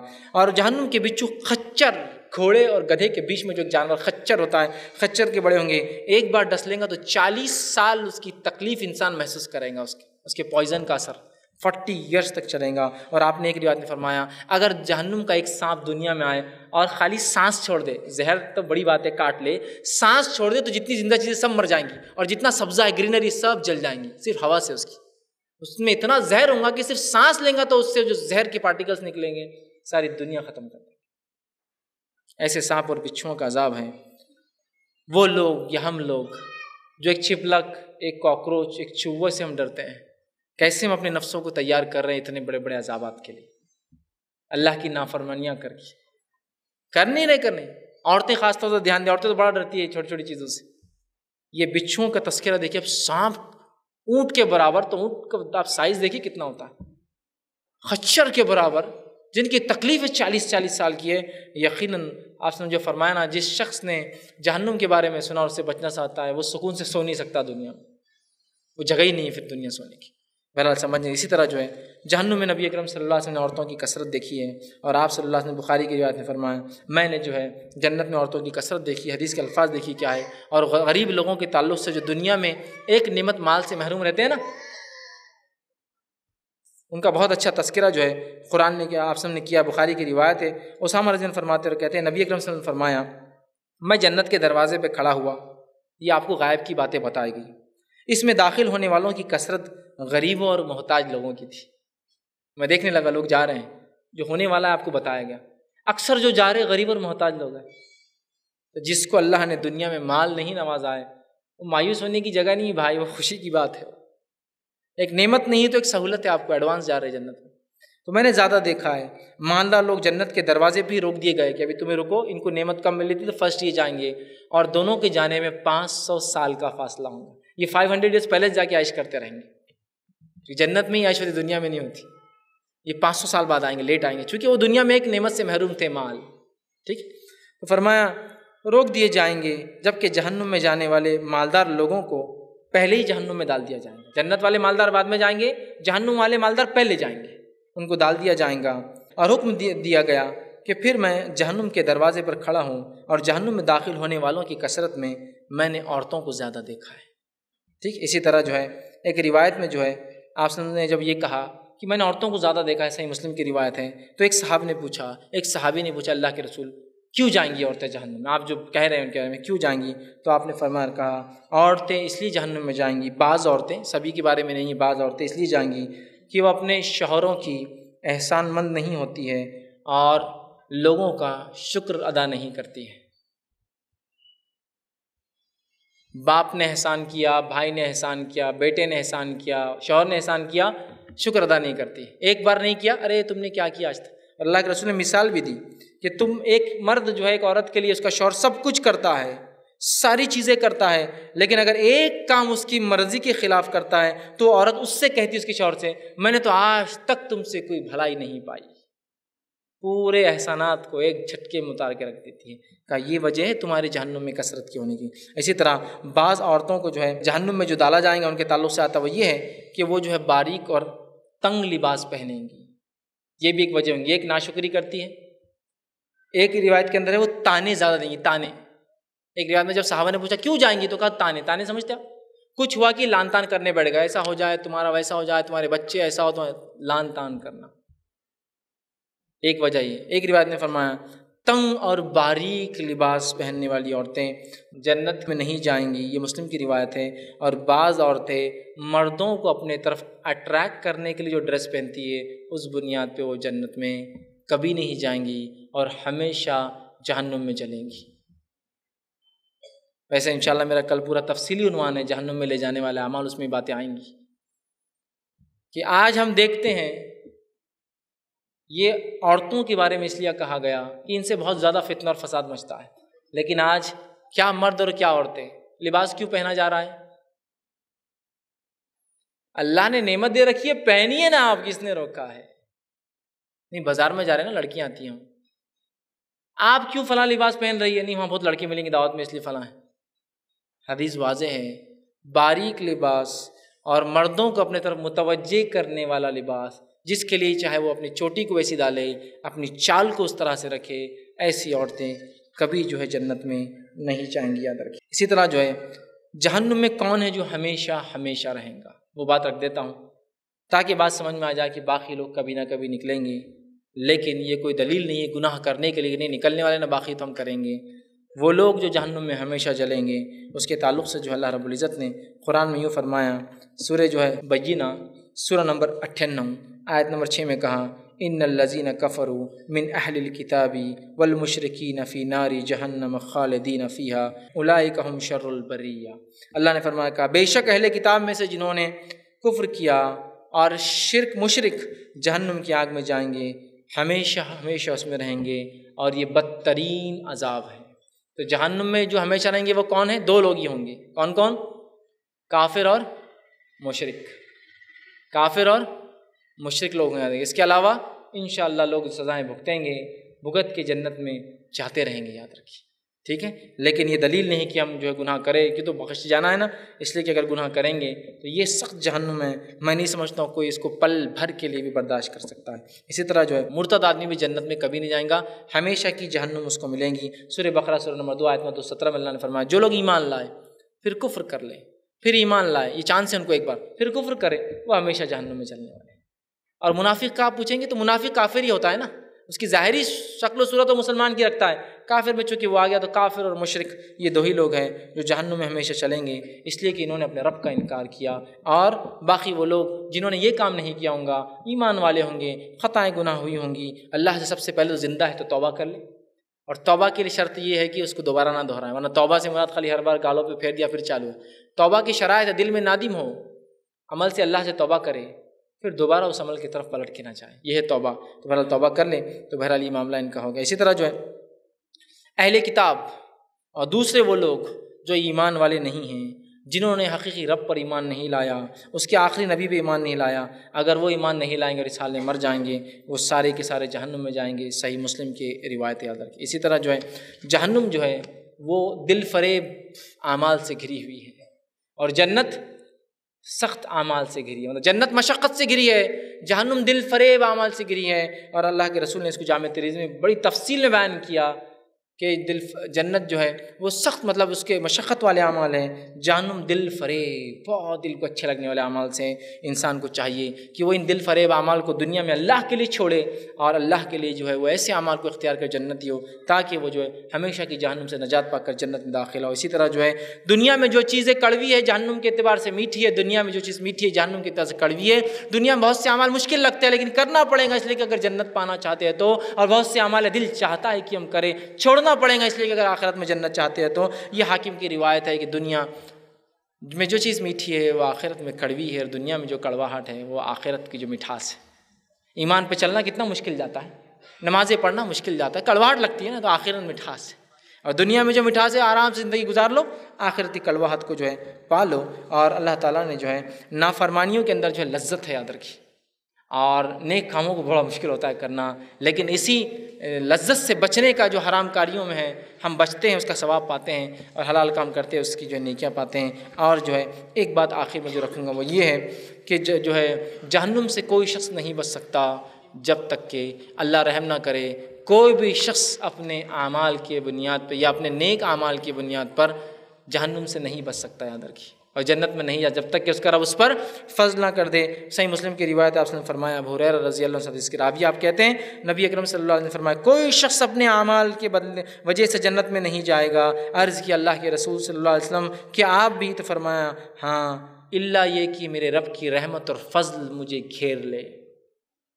سمجھ رہے آپ؟ تو اب یہ مت سمجھے کہ میں نے بڑی نیکیاں کر لی تو جنت پکی جہنم سے بچ گیا۔ اللہ کا فضل، ایمان ایمان کے بعد نیک اعمال اور اللہ کا فضل اور رحم ڈھاک لے تو ہی انسان جا سکتا ہے۔ اور آخری بات وہ یہ ہے کہ کسی شخص کو ہم جہنمی نہیں کہہ سکتے ہیں۔ اس لیے کہ کون جہنمی ہے؟ قرآن، حدیث نے جس کو بتایا، اس کو چھوڑ کر کسی کے بارے میں کبھی منہ مت کھولیے کہ یہ جہنمی ہے۔ کبھی نہیں۔ حتیٰ کہ غیر مسلموں کو بھی نہیں بولی، ورنہ تم نے جس کو غیر مسلم سمجھ کے آج جہنمی کہا۔ کل کو ہو سکتا ہے ایمان نے مجھ سے بھی آگے بڑھ جائے اور مجھے شرمائے کہ یار میں کہاں رہ گیا اور اللہ مجھ پہ رحم کرے، میں نے الزام بھی لگا دیا اپنی زندگی۔ سمجھ رہے ہیں آپ؟ قرآن و حدیث نے اس کے بارے میں کہہ دیا کہ فلاں فلاں فلاں یہ ہے۔ اس کے علاوہ اللہ عالم اللہ ہی جانتا ہے کون جنتی اور کون جہنمی ہے۔ ورنہ لوگ بہت آسانی سے بولتے ہیں، ارے وہ جماعت نا، وہ سب جہنمی ہے وہ فرقانہ وہ سب جہنمی لوگ ہیں۔ وہ طبقہ وہ تو پورے جہنمی ہیں۔ وہ ادارہ نا، وہ تو جہنمی کام کرتا لگا دیا؟ الزام لگا دیا؟ کیا تم غائب جانتے ہو؟ کیا تم کسی کی موت کی حال جانتے ہو؟ تم تو اپنی موت نہیں جانتے ہو۔ میں تو اپنی موت نہیں جانتا اور لگا میں کسی کو جہنمی بولنے اور جنتی بول میں نہیں جانتا ہوں کس حالت میں مروں گا میں۔ دعا ہے اللہ سے کہ اللہ ایمان پہ کرے، لیکن میں جانتا ہوں کیا؟ نہیں نہیں جانتا ہوں۔ تو بہرحال اس کو سمجھنے کی ضرورت ہے۔ تو یہ چند باتیں تھیں جو میں نے مناسب سمجھی، جہنم کی حلنا کی آپ کے سامنے رکھوں۔ تاکہ ہم کوشش کریں کہ اس جیسی سخت جگہ جسے جہنم آنکھ کہا جاتا ہے، اس سے اپنی نفسوں کو، اپنے آپ کو، اپنے اہل و اہل کو بچائیں۔ سورہ تحریم سر نمبر چھسٹھ میں اللہ نے یہی دعوت دیا نمبر چھ میں، یا الزینہ منو خوانفسکم واہلی کم نارا۔ اے لوگوں جو ایمان لا اپنے آپ کو، اپنے اہل کو جہنم کی آنکھ سے بچاؤ۔ وہ خود الناس والحجارہ، جس کا ایندھن انسان اور پتھر ہے۔ علیہ ملائکۃ غلاظ شدادا، جس پر بہت ہی سخت قسم کے فرشتے تعینات ہیں۔ لا یاسون اللہ مامرم و یفلون ما یمرون وہ اللہ کی کسی بات کو نہیں ٹالتے، جو حکم ہوتا ہے اٹھا کر۔ کر دیتے ہیں۔ یہ نہیں کہیں گے اللہ اتنا خوبصورت تھا، اتنا مالدار تھا، اتنے بڑے خاندان سے تھا۔ وہ یہ فلون مرون جہنم میں دالو اٹھا کے پھینک دیں گے اس کو۔ تو لہٰذا اپنے آپ کو، اپنے اہل ویال کو ہم اس سخت جہنم سے بچائیں جس کا ایندھن انسان پتھر ہے اور اپنے آپ کو ہم جو ہے تیار کریں کہ اللہ رب العزت کے سامنے ایسے اعمال کریں کہ ہم جو ہے جنت میں جو ہے ہمارا داخلہ ہو اور جہنم سے ہمیں جو ہے نجات ملے۔ میں اپنی بات کو یہیں ختم کروں گا۔ اللہ رب العزت سے دعا کہ اللہ سبحانہ تعالیٰ جو کچھ کہا سنا گیا اسے عمل کی توفیق عطا فرمائیں ہم تمام سے ایسے اعمال لے لے جو اعمال تیری رضا کے لیے ہو اور جو اعمال سے تو خوش ہوتا ہو۔ ہم سے ہر وہ اعمال ہم سے دور کر دے۔ اللہ جن اعمال کے بدلے تو جو ہے جہنم لوگوں کو دیتا ہے۔ ہم تمام کو اللہ کفر اور شرک سے ہماری جو حفاظت فرما۔ ہم تمام کو جو ہے توحید پر اور ایمان پر قائم رکھ۔ جب تک ہمیں زندہ رکھ، ایمان اور اسلام پر زندہ رکھ۔ مرنے کے بعد جو ہے ہمیں جنت عطا فرما۔ اور جنت میں جنت میں اعلیٰ مقامات عطا فرما اور ہمیں جہنم سے نجات دے اور ہمیں جو ہے جہنم سے دور رکھ، اس کے عذابات کو ہم سے دور رکھ اور ہمارا جنت میں داخلہ کرے۔ واخر داوان الحمد للہ رب العالمین۔ سبحان ربی کرب العزت صفون وسلام المرسلین۔ والحمد للہ رب العالمین۔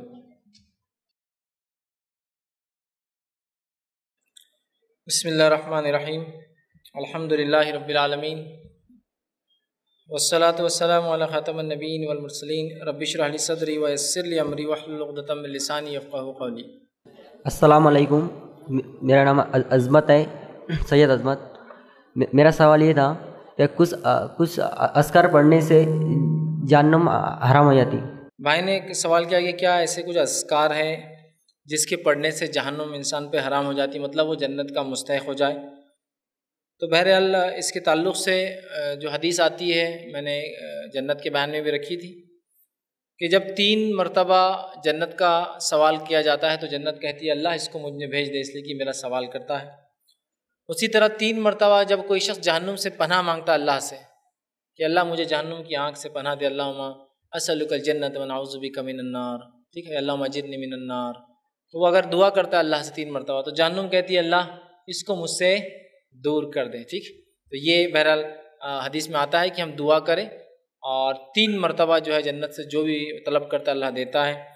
تین مرتبہ جہنم کو جو شخص طلب کرتا ہے کہ اللہ مجھے دور رکھ اس سے اور مجھے جنت دے، تو اللہ سبحانہ تعالیٰ سے جہنم کہتی ہے اس سے مجھ سے دور کر دے، جنت کہتی ہے، اللہ اسے مجھے بھیج دے۔ تو آپ اور ہم اگر عربی نہیں بھی آتی ہے تو اپنی دعاؤں میں جو بھی زبان آپ کو آتی ہے، ہمیں آتی ہے۔ اللہ سے جنت طلب کیا کریں اور جہنم سے نجات جو ہے ہم لوگ مانگا کریں۔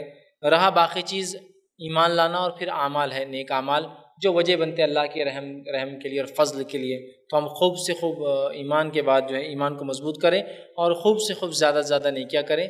اور بہت ساری نیکیاں جو جنت میں لے جاتی ہے اس کا تذکر آ گیا ہے۔ انشاءاللہ کل میں آپ کے سامنے اور کچھ باتیں رکھوں گا کہ وہ اعمال جو جہنم میں لے جاتے ہیں، تاکہ وہ اعمال جب پتہ چلیں گے، تو ہم ان اعمال سے بچنے کی بھی جو ہے ان کوشش کریں۔ کسی نے ایک سوال کیا، بدکار مرد اور عورت کو کیا عذاب میں ہوگا جو بیاہی کرتے ہیں اور پاک دامن لوگوں کو بھی بہکاتے ہیں۔ دیکھیے، بدکار مرد اور عورتوں کا کیا حشر ہوگا قیامت کے دن؟ اس تعلق سے حادیث یا قرآن میں سزا تو نہیں آتی ہے۔ دنیا میں جو سزا ان کو دی گئی، اس سے اندازہ لگایا جا سکتا ہے آخرت میں کیا مل سکتا ہے۔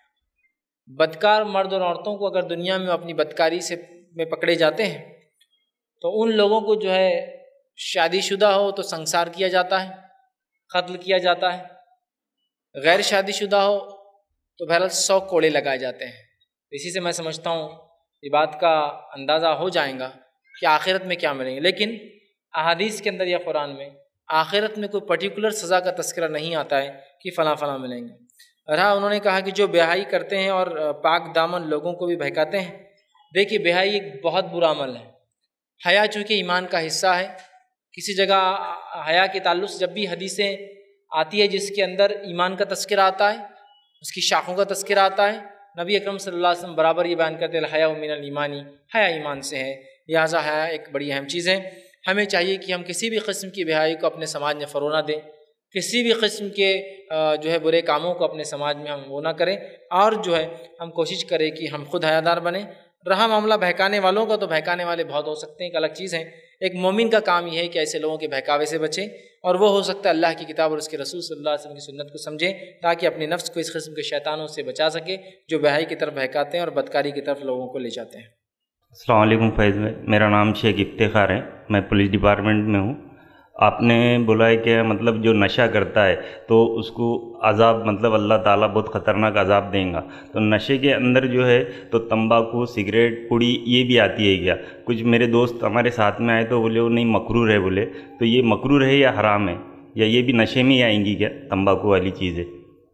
بھائی نے ایک بہت اچھا سوال کیا، جو میں نے کہا کہ اللہ رب العزت جو ہے، جہنمیوں کا پسینہ، زین الخبال ان لوگوں کو پلائیں گا، جو جو ہے نشے نشہ جو چیزوں کو اللہ نے حرام قرار دیا وہ پیتے ہیں، یہ کھاتے ہیں۔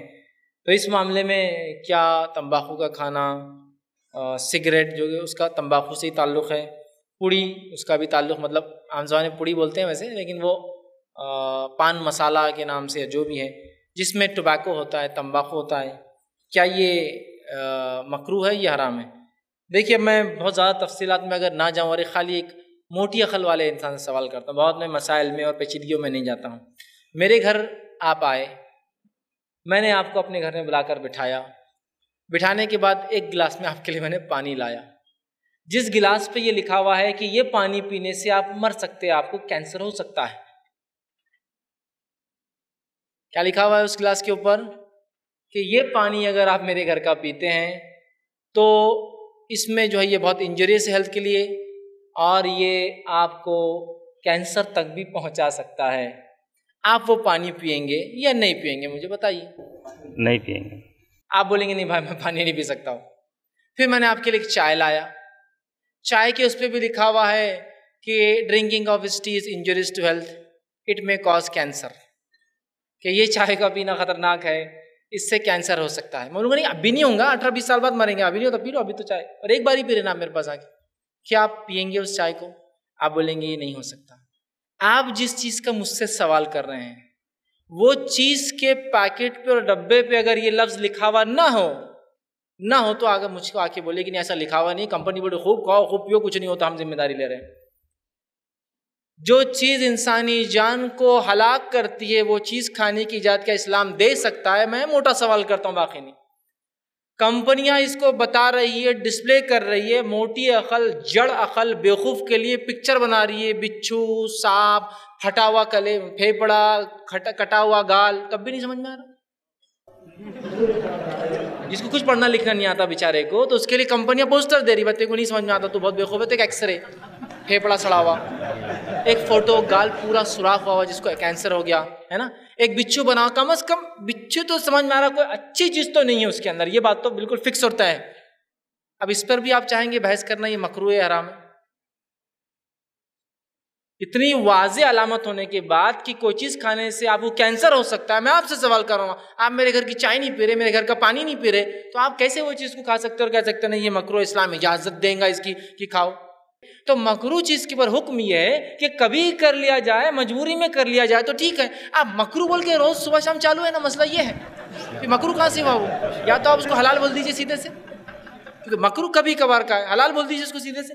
یا پھر دوسری اصطلاح حرام بول دیجیے آپ اس کو، ہے نا؟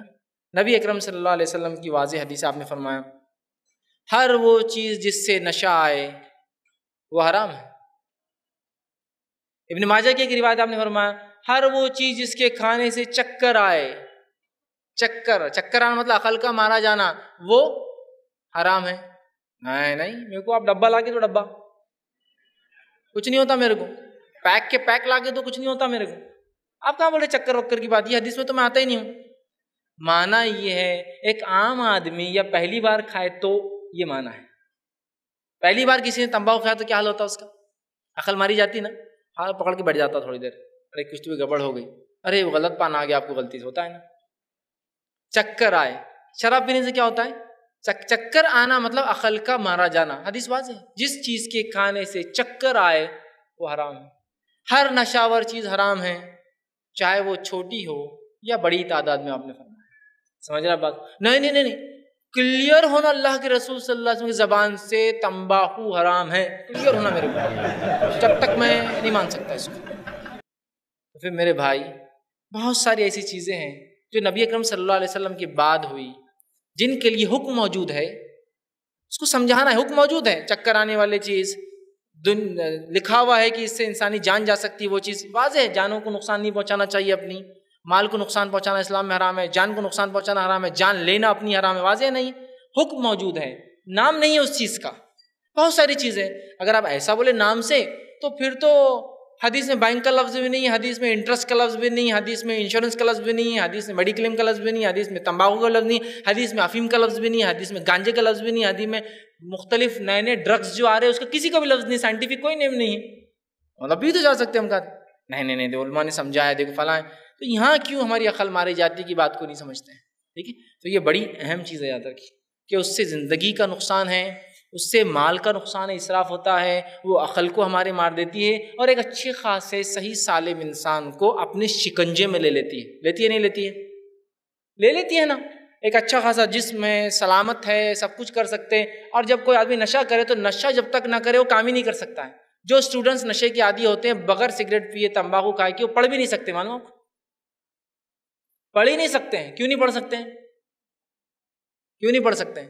اس لیے کہ ان کی عقل اب تابع ہے اس نشے کے، جب تک وہ نہ لے، وہ کام نہیں کر سکتے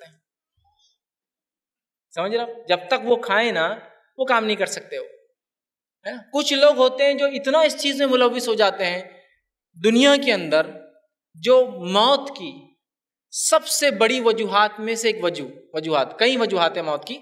ٹاپ ٹین میں سے اگر فرسٹ تھری کے اندر کاؤنٹ کیا جائے تو جو ٹاپ موسٹ وجہ جس کی وجہ سے لوگ سب سے زیادہ دنیا میں مرتے ہیں ایکسیڈنٹ سے بھی زیادہ وہ ہے تمباکو نوشی کی وجہ سے۔ ایکسیڈنٹ سے بھی زیادہ لوگ مرتے ہیں۔ ہر سال صرف یہ تمباکو کی وجہ سے۔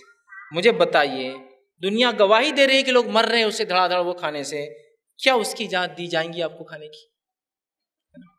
وہ ہم تفصیلات میں جائیں نہیں، حرام، حلال مکرو کی۔ میں تو سمپل ابھی کوشچن کر رہا ہوں۔ اس اصطلاح پہ ہم جا سکتے ہیں، اس پہ بھی بحث کر سکتے ہیں۔ لیکن میں سمجھتا ہوں اتنی بحث ہمارے لیے کافی ہے کہ جو چیز کے ظاہری خطرات ہی اتنے ہیں، اس کے باتیں نہیں اور کیا ہوں گے؟ تو وہ ہے جو کمپنیاں مکمل ڈسپلے نہیں کرتی اٹ میں کاز کینسر اتنا بول کے چھوڑ دیتی۔ حال ہی میں ایک واقعہ ہوا۔ ایک کمپنی نے اپنے لیبل کے اوپر یہ نہیں لکھا جو کمپلسری وارننگ ہوتی ہے۔ کمپلسری ڈالنا، وہ نہیں لکھا جس کے نتیجے میں ایک انسان نے اس کو اٹھارہ سال پیا۔ چین اسموکر تھا اور اس کے بعد وہ مر گیا۔ اس کی خاتون نے، اس کی بیوی نے کمپنی پر کیس ڈالی اور کل ہی اس کی پوری ایک رپورٹ میں پڑھ رہا تھا۔ ٹوینٹی تھری بلین ڈالر کا ہرجانہ کمپنی کو پے کرنا پڑا۔ صرف وہ نہیں لکھنے کی وجہ سے کہ سگریٹ یا تمباکو کھانے سے کینسر ہو سکتا اس کو ہوا، ثابت ہوا۔ دنیا گواہی دے رہی ہے کہ اس سے ہو رہا ہے، لوگ مر رہے ہیں۔ اور اگر آپ پوچھیں، نہیں، ابھی بھی فلائیں فلائیں، یہ سب چیزوں کو ہم کو چھوڑنا ہوگا۔ یہ نشے اور منشیات نے تو آج لوگوں کی حال کر دیا۔ شروعات یہ گٹکی اور پان سے ہوتی ہے۔ پھر اس کے بعد تمباکو جاتی ہے، پھر اس کے بعد شراب اس کے لیے کوئی معنی رکھتی ہے افیم اور گانجا اس کے لیے معمول ہو جاتا ہے۔ کچھ لوگوں کو تو اس حد تک میں نے دیکھا جب نشے میں بڑھتے تو نشے کی کوئی ٹاپ لیول نہیں ہے، اس میں لذت ہے، لیکن کوئی لیول نہیں ہے، اس کو بڑھانا پڑتا ہے۔ تمباکو کے اندر بھی زہر ملا کر جو ہے کچھ تو بھی کرتے ہیں۔ ایک صاحب نے مجھے بتایا کہ تمباکو کی سگریٹ میں بھی وہ بچوں کو در ڈال کے پیتے ورنہ ان کو نشہ نہیں آتا۔ حالت یہ ہے کہ ابھی پی رہا تھا، ابھی کھا رہا تھا، ابھی چپکا رہا ہے، ابھی سونگ رہا ہے، ابھی ڈال رہا ہے، ابھی لگا رہا ہے۔ زندگی ختم ہے اس کی اس میں۔ اور جتنا کرے گا کم ہے۔ اور کسی دن یہ نہ ملے تو آج کام نہیں ہو سکتا۔ بہت سے لوگ روزہ چھوڑتے ہیں۔ نشوں کی وجہ سے، یہ گندی عادت پال لی انہوں نے، ہے نا؟ بہت سے لوگوں کا اللہ رحم کرے، یہ حال ہے۔ بہت سی قومیں ہیں جن قوموں کے اندر تمباکو حرام ہے۔ صرف اسلامی نہیں جو اس کا حرام، اور بھی مذہب ہے جو ہے حرام قرار دیتے ہیں اس کو۔ تو ان قوموں کا حال یہ ہے کہ جب وہ اس کو حرام قرار دیتے تو اپنی عبادت گاہوں میں لے جانا حرام ہے۔ تو ان کی عبادت گاہ میں اگر ان کا مذہب کا آدمی یا کوئی غیر مذہبی بھی آئے تو بولتے باہر رکھ کے آنا۔ اندر نہیں لانا چونکہ حرام ہے۔ ہمارا مسلمان بھائی اندر جاتا لے کے۔ نماز میں کبھی کبھار سامنے گر جاتی ہے، رکھ بھی دیتا ہو۔ جب میں ٹائٹ ہو جا رہا تو بازو رکھ کے دیتا ہو۔ تہارت خانوں میں جاؤ تو اندر جاتے ارے یار، کوئی آ کر گیا، انجن چالو تھا مطلب تھوڑی دیر پہلے۔ تہارت خانوں میں اسمیل انجن مطلب سگریٹ مار رہا ہے۔ دھواں آ رہا کبھی اندر سے۔ اب کوئی ایک آدھ نیا آدمی ہوں گا، دھواں رہا کے پانی ڈال کے دو چار بکیٹ اوپر سے تو اندر سے آ جاتی ہوں ہوں۔ یہ میں جلا رہا ہوں، آگ وگ نہیں لگی ہے تارت خانے احتکاف میں بیٹھے ہیں۔ کیا میں بیٹھے احتکاف میں بیٹھے مسجد کی چھت پہ جا کے بیٹھے ہوئے احتکاف میں بلا وجہ مسجد کی چھت پہ نہیں جانا چاہیے آپ کو۔ نہیں بولے، وہ بلا وجہ کہاں تھا؟ وہ تو کمپلسری تھا۔ بلا وجہ تو تھا ہی نہیں، کمپلسری تھا۔ ہے نا؟ اور کسی دن سمجھو، نہیں ملا۔ نہیں ملا، تو سارا دن پریشان۔ کیوں؟ وہ جب تک نہیں ہوا تو جب تک ان نہیں ہوا تو ادھر سے آؤٹ نہیں ہوتا پورے جسم کو آپ نے کسی کے حوالے کر دیا جس کو اللہ نے آپ کو تر و تازہ اور فطری رکھا تھا۔ پیدا ہوئے تھے، خود بخود پیشاب کر رہے تھے، خود بخود پیخانہ کر رہے تھے۔ نیچرل تھا۔ آپ نے اتنا بائنڈ کر دیا کہ آپ کا پورا بلڈ کنٹرول تمباکو کے ہاتھ میں ہوتا ہے۔ جب تک کھائے اور پیے نہیں، نہ تہارت کر سکتے، نہ پیٹ صاف ہو سکتا ہے، نہ سوچ سکتے، نہ کام کر سکتے۔ گھر میں باپ بیمار ہوں گا، یہ کچھ نہیں کر، جب تک سگریٹ نہ پیے۔ تو عقل کام ہی نہیں کرتی، کہاں لے جاؤں؟ سگریٹ پینگا اندازہ لگائیے آپ نے اپنی عقلوں کو کتنا مار دیا ایک احکام کو شریعت کے چھوڑ کر۔ ابھی بھی آپ بحث کرنا چاہیں گے مکرو یا حرام؟ اس پہ بھی میں لمبی بحث کر سکتا ہوں، پھر ہے یا نہیں؟ لیکن جن لوگوں کی تجارتیں اس پہ ڈپینڈ ہیں، جو خود عادی ہے کھانے کی کیسا بولیں گے بھائی غلط ہے میں یہ کہتا ہوں، اگر کوئی غلطی مجھ سے ہوتی بھی ہے، لیکن اسلام کے مطابق غلط ہے، تو مجھے بالکل نہیں شرمانا چاہیے بولنے میں کہ مجھ سے غلطی ہو رہی ہے، لیکن یہ کام غلط ہے۔ اسلام کو نہیں بدنام کر سکتا ہوں نا میں؟ نہیں غلط ہے، لیکن میں کرتا ہوں، لیکن بھائی غلط ہے، یہ نہیں کرنا چاہیے۔ کم از کم آنے والی نسلیں تو اس بات کو سمجھیں گی کہ یہ غلط ہے۔ اور اکثر لوگ میں نے دیکھا ہوں، بہت سارے جن لوگوں کو اس تمباکو اور یہ نشے کی عادت ہوئی ہے، اس کی وجہ وہ خود نہیں ہے ان کے والدین مطلب باپ، ماموں، رشت مطلب باپ ہے، ماموں ہے چاہے رشتے دار ہے جنہوں نے پی کر پھینکا تھا اور پہلی بار اس نے وہیں سے سیکھا سگریٹ کو پینا۔ تو آپ ایک انسان کو ایک غلط راہ پر بھی ڈال رہے اور رسول اللہ وسلم کی حدیث ہے، جو شخص کسی کو خیر کی طرف بلائے۔ اور لوگ اس کے پیچھے چلنے لگے تو ہر آنے والے کا ثواب ملیں گا اور کرنے والے کا جرم سے کمی نہیں۔ اور جو شخص کسی گناہ کی طرف کسی کو بلائے، جس کی وجہ سے وہ اس پر چل پڑے، اس کی بھی پوچھ ہے، اس کا بھی یہ گناہ کا حصہ اس کو ٹرانسفر ہوتے رہیں گے۔ یہ بہت بڑی برائی ہے، موت کی وجہ ہے۔ کثرت موت کی وجہ ہے، انسانیت کو نقصان دہ چیز ہے حلال مال کو ضائع کرتی ہے، انسانی جسم میں ہزاروں ہزار قسم کی بیماریاں دیتی ہے عقل سلیم کو مار دیتی ہے آپ کی جو اللہ نے دے رکھا ہے، اور پتہ نہیں کتنے انگیرت نقصان ہے تو میں سمجھتا ہوں اس سے احتیاط کرنا چاہیے۔ یہ بہت سخت قسم کی چیزیں ہیں اور یہ شروعات ہوتی ہے بہت بڑے بڑے نشوں کی۔ تو لہٰذا ہم کوشش کریں ہر قسم کے یہ تمباکو نوشی سے اپنے آپ کو اور اپنے ماحول اور سماج کو ہم بچانے کی کوشش کریں۔ کسی نے سوال کیا کہ بعض لوگ کہتے ہیں کہ جہنم میں جانے کے بعد نبی اکرم صلی اللہ علیہ وسلم کا دامن پکڑ لے تو نکل جائیں گے یا جہنم میں جائیں گے ہی نہیں کیونکہ نبی اولیاء کے دامن پکڑے ہوگے تو کیا یہ بات صحیح ہے؟ دیکھیے یہ بات تو بالکل صحیح ہے کہ روز قیامت اللہ رب العزت انبیاؤں کو اور سب سے پہلے رسول اکرم صلی اللہ علیہ وسلم کو، ملائکہ کو، اس میں سب سے پہلے مخرف فرشتوں کو، پھر دیگر فرشتوں کو اس کے بعد انسانوں میں سے جو اللہ کے نیک بندے ہوں گے، سب کو موقع دیں گا۔ جو کہ اگر نیکوکار ہوں گے تو وہ لوگوں کی سفارشیں کریں گے، سفارشیں کریں گے۔ اور سفارشیں ان کی ہوں گی جن کے تعلق سے اللہ طے کر چکے ہوں گے، جنتی ہیں۔ پھر آپ بولیں گے جب جنتی طے کر دے، سفارش کیوں ہوں گی؟ سفارش اس لیے ہوں گی کہ اللہ کو اس آدمی کا مقام وہاں بتانا ہوگا کہ یہ کیا تھا۔ اس لیے اللہ نے طے کر چکا ہے کہ یہ سو لوگ جنت میں جائیں گے، لیکن اللہ ایک آدمی کو سفارش کرنے لگائیں گے، تم کرو۔ کیوں کرو؟ تاکہ تمہارا مقام پتہ چلے لوگوں کو تم کیا تھے دنیا میں۔ تو جنت اللہ ہی طے کرے گا کس کو دینا ہے۔ لیکن لوگوں سے سفارشات کروائیں گا۔ اب سوال یہ ہے کہ ہم چلے جائیں گے، پکڑ لیں گے۔ دیکھیے، بنیادی چیز یہ ہے کہ جو بات ہم کہہ رہے کہ مقام محشر میں ہم دامن پکڑ کے نکل جائیں گے، تو مقام محشر، وہیں تو ہوں گا نا، فیصلہ حش، وہیں فیصلہ ہو رہا ہے۔ مقام محشر میں کسی کے پاس دامن ہوں گا ہی نہیں۔ صحیح مسلم کی روایت نبی اکرم صلی اللہ علیہ وسلم فرمایا روز قیامت روز قیامت انسان بغیر ختنہ کیے ہوئے، بغیر ختنہ کیے ہوئے اور ننگا ہوں گا۔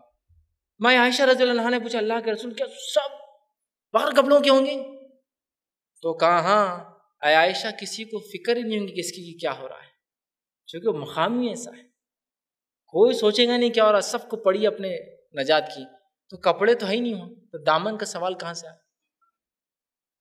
دوسرا نہیں نہیں نہیں، اس کے بعد بھی جو سفارش چلی شفات قبرا جو آپ سم کریں گے شفات شفات جو فرشتے اور اولیاء کریں گے، نیک لوگ کریں گے۔ ہم نہیں جانتے کہ انبیاؤں کے علاوہ اور مقرر فرشتوں کے علاوہ کون کون سفارش کریں گا ہم کو نہیں پتا ہے۔ سفارشی اللہ طے کریں گے نا۔ کہ اللہ نے کانٹریکٹ دے کے دنیا میں بھیجا کہ یہ سفارشی بن جائیں گے، جیسے ہم نے بنا دیا، فلاں جگہ یہ سفارشی، فلاں جگہ یہ سفارشی، فلاں جگہ یہ سفارشی، فلاں جگہ یہ سفارشی۔ انبیاء اور مخرب ملائکہ نزدیکی فرشتوں کے علاوہ کون سفارشی ہوں گا؟ کوئی بھی نہیں جانتا ہے۔ یہ اللہ کی طرف کی بات ہوں گی اللہ کس کو سلیکٹ کرو کھائے سفارش کرو؟ ہم نہیں جانتے۔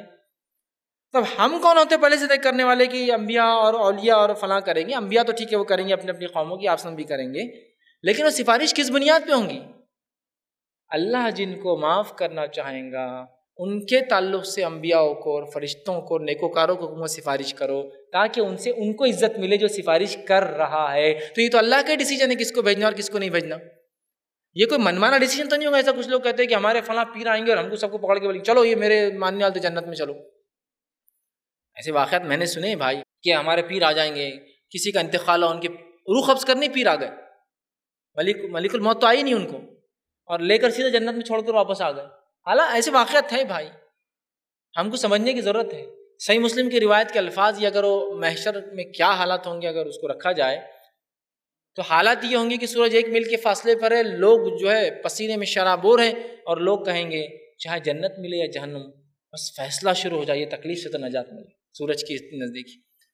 لوگ سب ملیں گے ایک جٹ ہوں گے، کہیں گے آج کیا کیا جائے؟ اللہ کو کیسے منا جائے؟ اللہ اتنے غضب میں ہوں گا کہ اس سے نہ پہلے ہوا ہوں گا، نہ اس کے بعد ہوا ہوں گا۔ حدیث بہت طویل ہے لیکن وہ میں مختصر رکھ رہا ہوں۔ تو لوگ کہیں گے آدم کے پاس چلو۔ علیہ السلام، یہ پہلے نبی ہیں۔ تو لہٰذا اللہ ان کی سنیں گے۔ وہ جائیں گے اور کہیں گے آدم، اللہ سے صرف آج تم سفارش کرو، یہ شروع ہو جائے۔ حشر قائم ہو جائے، حساب کتاب شروع ہو۔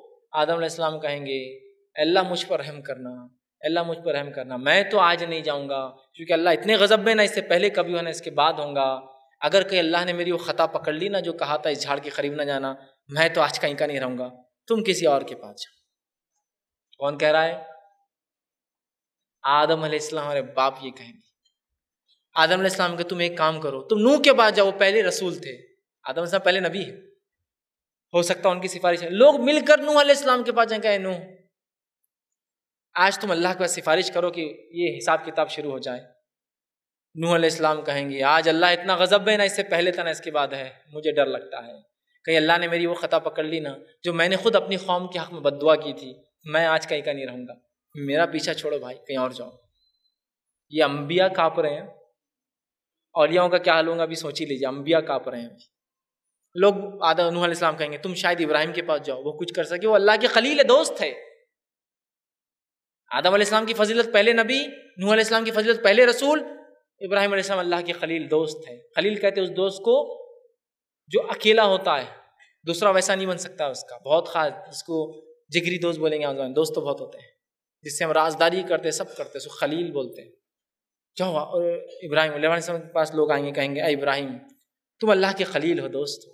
آج سفارش کر دو، بس قائم ہو جائے میزان، لگ جائے حساب کتاب میں نمبر ہمارے، شروع ہو جائیے ابراہیم علیہ السلام کہیں گے، میں یہ کام نہیں کر سکتا۔ اس لیے اس لیے کہ مجھ سے دنیا میں دو ایسی خطا ہوئی تھی جس سے مجھے ڈر لگتا ہے کہیں اس کی وجہ سے اللہ میری پکڑ نہ کرے۔ میں تو نہیں جاؤں گا، تم کسی اور کے پاس جاؤ۔ شاید موسا کے پاس جاؤ۔ ان کا شرف یہ کہ اللہ نے کلام کیا۔ فضیلت یہ، شاید اللہ نے سیدھے بات کی۔ شاید وہ کرے۔ لوگ جائیں کہیں گے، اے موسا آج جو ہے تم اللہ کے سامنے سفارش کرو۔ موسا علیہ السلام کہیں گے، بھائی اللہ اتنے غضب میں جائیں اس سے پہلے وانے اس کے بعد میں یہ نہیں کر سکتا کہ تو اللہ نے اگر میری وہ خطا پکڑ لی نا جو میں نے ایک بکا مارا تھا، ایک شخص جس سے وہ مر گیا تھا، میں آج کہیں کا نہیں رہوں گا۔ تم شاید عیسیٰ کے پاس جو علیہ السلام، چونکہ وہ اللہ کی روح ہے، اللہ نے، اللہ کا کلمہ ہے، اللہ نے ان میں روح پھونکی تھی۔ ان کے پاس جاؤ، شاید وہ سفارش کریں۔ لوگ عیسیٰ علیہ السلام کے پاس آپ سے فرماتے عیسیٰ علیہ السلام کا عذر آپ نے نہیں بتایا، وہ کہہ دیں گے میں نہیں۔ آخری نبی محمد صلی اللہ علیہ وسلم کے پاس جاؤ، شاید یہ سفارش کریں۔ کہاں سے بات کہاں تک آ رہی ہے؟ رسول اکرم صلی اللہ علیہ فرماتے لوگ میرے پاس آئیں گے، میں آگے بڑھوں گا، اللہ مجھے چند کلمات سکھائیں گا، میں سجدہ ریز ہو جاؤں گا، اتنی دیر پڑا رہوں گا جتنی دیر میرا رب چاہیں گا، ان کلمات کو پڑھیں گا جو میرے رب نے سکھائے ہوں گے، اور جن کے بارے میں اللہ نے جنت کا فیصلہ کر دیا ہوں گا، مجھ سے کہیں گا محمد، اٹھو، سفارش کرو، قبول کی جائیں گی، مانگو، عطا کیے جاؤں گے۔ پھر میں سفارش کروں گا اور وہ وہی لوگ ہوں گے جن کی تعلق سے اللہ فیصلہ کر چکا ہوں گا جنت میں جانے اور ایک لوٹ جائیں گا صرف، ایک ایک لوٹ جائیں گا، ایک طبقہ جائیں گا پھر میں سجدے میں گر جاؤں گا۔ پھر اتنی دیر پڑا رہوں گا جتنے میرے رب چاہیں گا۔ پھر میں دعا کروں گا۔ اور پھر اللہ کہیں گے محمد اٹھو، بولو، سنے جاؤں گے مانگو، عطا کیے جاؤں گے پھر میں سفارش کروں گا، پھر کچھ لوگوں کو اللہ بھیجیں گا، پھر میں گر پڑوں گا۔ دیکھیے، ایک لاٹ میں سب بھی نہیں جا رہے ہیں۔ اب کہاں آپ لا رہے باقی لوگوں کی بات؟ جو طے شدہ سفارشی ہے، وہ دامن جھٹک رہے ہیں ایک دوسرے کا انبیاء طے شدہ ہے نا سفارش کرنے والے؟ گھبرا رہے رب کے سامنے۔ کیا مذاق بنا رکھا ہم نے کہ ہم ان کے پیچھے جائیں گے اور ان کے پیچھے جائیں گے۔ ہم کو تو پتا بھی نہیں وہ جائیں گے یا نہیں جائیں گے، جن کے نام آپ لے رہے ہیں۔ انبیاء اور مخرب ملائکہ ایک الگ چیز ہے۔ اس کے علاوہ ہمیں نہیں پتا ہے کون سفارشی ہے ہمارا۔ ہم نے خود ساختہ بنا لی سیلف ڈیفائنڈ یہ ہمارے مشفی ہے، یہ ہماری شفات کریں۔ بہرحال اس بات کو ہم سمجھیں۔ لہٰذا، اور یہ انبیاء کس کی سفارش کریں گے؟ چلیے، کس کی کریں گے سفارش؟ جو ان کی سنت عمل نہیں کر کے آیا، جو ان کے طریقے کی مخالفت کر کے آیا، جس نے ان کی اور جو پیغام لائے تھے اس کو چھوڑ کر ان کی کریں گے سفارش؟ کہ اللہ، یہ نمازیں نہیں پڑھتے تھے، لیکن میرے بارے میں بہت بولتے تھے، ان کو سب کچھ جانے دو میرے پیچھے۔ جتنے لوگ دیکھے جو یہ سفارش اور دامن کی بات کر اکثر بے نمازی ہیں۔ چلیے، اللہ کے ولیوں کی مثال لے لیجیے جی کہ اللہ کے ولی ہے نیک بندے ہیں۔ یہ کس کی سفارش کریں گے؟ میں سوال کرتا ہوں جس طریقے پہ یہ چلے یا ان کے خلاف جو چلا ان کی کریں گے؟ مجھے بتائیے آپ۔ نہیں ہم فلاں اللہ کے ولی کو ماننے والے آپ نہیں مانتے رہے ہم بھی مانتے اللہ کے ولیوں کو۔ اللہ کے نیک بندوں کون نہیں مانتا ہے؟ یہ تو ہمارا عقیدہ ہے۔ لیکن اللہ کے نیک بندوں میں سب سے زیادہ نیک ہوتا ہے، متقی پرہزگار ہوتا ہے، تو سب سے پہلے انبیاء ہوتے ہیں، اس کے بعد صحابہ ہوتے ہیں، اس کے بعد تابعین ہوتے ہیں۔ یہ بھی تو ولی ہے نا، کبھی ان کے بارے میں اللہ کے ولی تصور بھی نہیں کرتے ان کو۔ سب سے نیک لوگ ہیں۔ سمجھ رہے آپ بات؟ تو ہم بھی مانتے ہیں۔ لیکن یہ کون سا عقیدہ ہے کہ آپ جس ولی کا نام لے کر بڑے اس کے پیچھے جائیں گے، اس کی زندگی جیسی تھی، ویسے شکل بھی نہیں بنائی تم نے آج تک۔ سمجھ رہے بات؟ تو کیا ایسے لوگوں کی سفارش کریں گے جو ان کے خلاف چل کر ہو ہی نہیں سکتا اللہ اجازت دے ایسے لوگوں کو کہ ایسوں کی سفارش کرو جو سنت کے خلاف نمازیں چھوڑے بیٹھے ہیں، زکوٰۃ نہیں دیتے ہیں اور پتہ نہیں کیا کیا غلط کام کرے، تو بہرحال سفارش ہوں گی۔ وہ اللہ دیں گا اور ظاہر سی باتیں نیک و کاروں کی ہوں گی سیلف ڈیفائنڈ سفارشی بھی نہیں ہو سکتے اور وہ نیک لوگ ہی کریں گے، ہر کسی کی سفارش نہیں کریں گے۔ السلام علیکم۔ ہمارا نام سید عادل احمد ہے۔ ہم ایک اسکول میں جاب کرتے ہیں۔ ہمارا آج کا یہ سوال ہے کہ ہر شخص جنت میں جانے کی خواہش رکھتا ہے۔ جتنے بھی مرحلے اس کو پار کرنے کے بعد جنت ہر انسان کو ملیں گی۔ لیکن ایک حدیث میں آتا ہے کہ جو شخص رائی کے دانے کے برابر اپنے ایمان کو بچا کر آئے گا، اسے ہاں، جنت ملنے والی ہے۔ تو یہ رائی کے دانے والا جو ایمان ہے، اس کی تھوڑی وضاحت چاہتے ہیں۔ بھائی نے ایک بہت اچھا سوال کیا کہ حدیث میں آتا ہے کہ جنت میں وہ شخص بھی جائیں گا جس کے پاس رائی کے دانے کے برابر ایمان ہو۔ قیامت سے قرب قیامت کی نشانیوں میں بھی ایسی حدیث حدیث میں آپ نے فرمایا کہ کچھ لوگ آئیں گے قیامت سے پہلے، صرف ان کو اتنا پتا ہوں گا، لا الہ الا اللہ۔ صحابہ نے کہا، کیا ان کو محمد رسول اللہ نہیں پتا ہوں گا؟ تو آپ نے فرمایا، نہیں، ان کو محمد رسول یہ بھی نہیں پتا ہوں گا۔ تو کہا، پھر لا الہ الا اللہ ان کو کیا فائدہ دیں گا؟ تو کہا، یہ ان کے لیے نجات کا ذریعہ بن جائیں گا۔ توحید، بڑی اہم بات ہے۔ تو بھائی کا سوال ہے، وہ رائی برابر دانے کی حدیث سے جو آ رہی ہے کہ اتنا ایمان ہوگا اس کا کیا معنی ہے؟ دیکھیے، اس کا معنی یہ ہے کہ اس شخص کا ایمان مکمل تھا۔ اس نے کبھی اللہ کے ساتھ شرک نہیں کیا، لیکن اعمال نہیں کرنے کی وجہ سے وہ رائی کے دانے کے برابر مثال دی جا رہی۔ ہے اعمال نہیں تھے۔ توحید پرست تھا۔ شرک کبھی نہیں کیا۔ کفر اور شرک پر نہیں مرا۔ لیکن گناہ گار تھا، جس کی وجہ سے ایمان کو مثال دی جا رہی رائی کے برابر ہے، لیکن مکمل ایمان پر تھا۔ اعمال غائب تھے، نیک سال اعمال۔ جس کی وجہ سے وہ جہنم میں جائیں گا اور جلیں گا۔ جلنے کے بعد آخر میں ایسے لوگوں کو جو توحید پر تھے، وقتاً فوقتاً جو اس مثال کے طور پہ ایک آدمی صرف توحید پر اور کوئی عمل نہیں کیا اور ساری زندگی گناہ کیا، توبہ بھی نہیں کیا، جل، جلیں گا۔ جلنے کے بعد اسے نکالا جائیں گا۔ سمجھ رہا بات کو؟ نکالا جائیں گا۔ تو جو حدیث میں رائی کے دانے کے برابر تذکرہ ہے، محدثین اس کی شرح کرتے ہیں۔ اس کا معنی ہے اس کا ایمان مکمل ہوں گا، شرک نہیں کیا ہوں گا کفر نہیں کیا ہوں گا اور شرک اور کفر موت بھی نہیں آئیں گے، لیکن بہت زیادہ گناہ کیے ہوں گے، جس کے سزا بھگتیں گا، سزا بھگتنے کے بعد جنت میں جائیں گا۔ اور صحیح مسلم کی بہت ساری روایتوں میں یہ بھی آتا ہے، جب جہنم سے لوگ نکلیں گے، جنت میں جائیں گے، تو لوگ انہیں جہنمی جہنمی کہہ کر پکاریں گے۔ وہ اس لیے پکاریں گے کہ ان کو یاد دلائیں گے، اللہ نے فضل کر دیا، اللہ نے فضل کر دیا، جہنم سے آ گئے، جہنم سے آ گئے، جہنم سے آ گئے۔ اس لیے کہیں گے جہنمی، تو اس پر اللہ کا شکر ادا کریں گے، بس نکل کر ہی آئیں گے تانے کے طور پر نہیں۔ اور ایک ندی ہوں گی، جب وہ آئیں گے تو جہنم میں جل کر آئیں گے نا تو کالے ہو جائیں گے۔ وہ ندی میں جائیں گے، ندی میں جانے سے ان کا کالا پن نکلیں گا اور پھر جنت میں داخل ہوں گے۔ لیکن یاد رکھیے، جنت میں جو پہلے گئے، ان کی فضیلت الگ ہوں گی، بعد والوں کی۔ تو جہنم جو ہو کر آئے، ان کے اوپر ایک نشان کالا باقی رہیں گا، جس سے لوگ ہمیشہ ان کو پہچان لیں گے کہ یہ جہنم سے ہو کر آئے ہوئے، ڈائریکٹ آئے ہوئے نہیں جنت میں۔ سمجھ رہے آپ؟ تو بہرحال، تو جو بات ہے وہ یہ ہے کہ ایمان پر مکمل تھا۔ اعمال صالح کی کمی سے اور گناہوں کی وجہ سے اسے رائی کے دانے کے برابر کہا گیا۔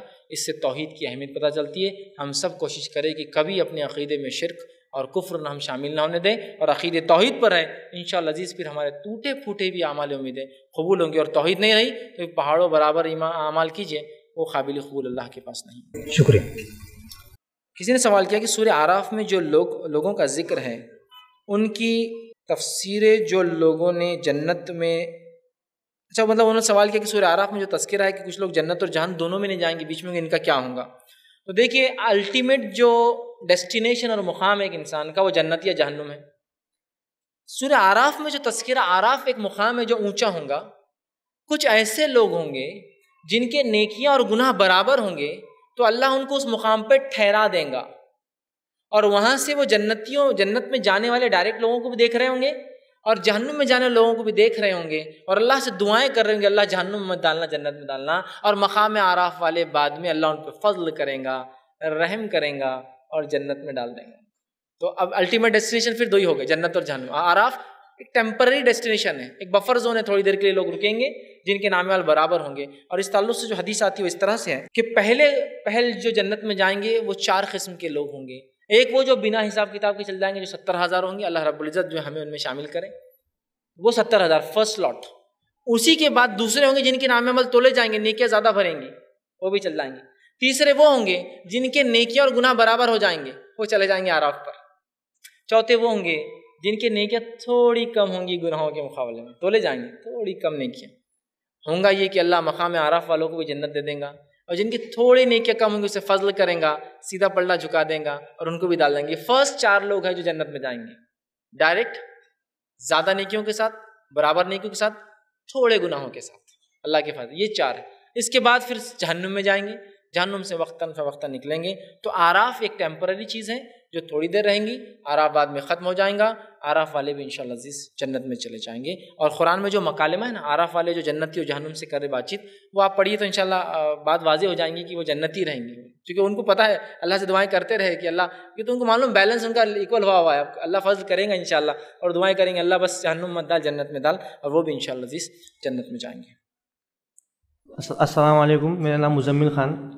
آپ بتائیں کہ لاسٹ میں جو دو لوگ لامحدود دوزخ میں جلنے والے ہیں، ایک جو ہے تو کفر ہے اور ایک مشرق تو مشرق کون ہے وہ لوگ؟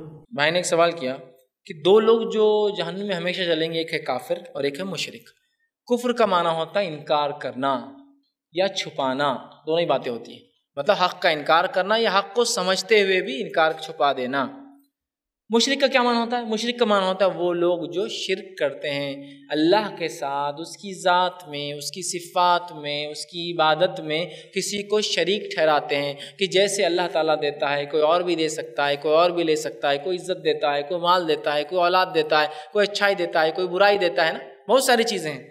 اب اگر شرک کی مثالیں میں دینے بیٹھوں تو بہت مشکل ہو جائیں گا۔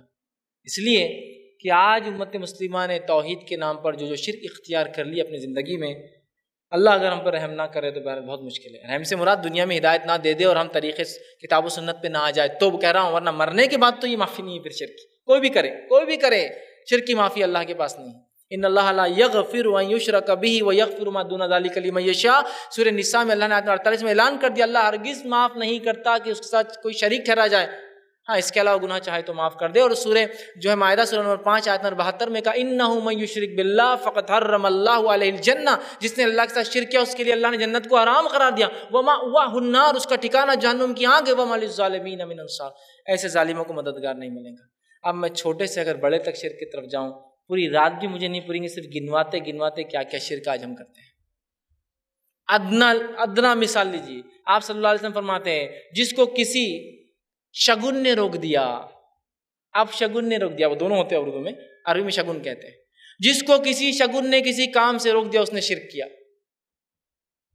بلی سامنے سے گئی تو آگے نہیں جانا چاہیے شگن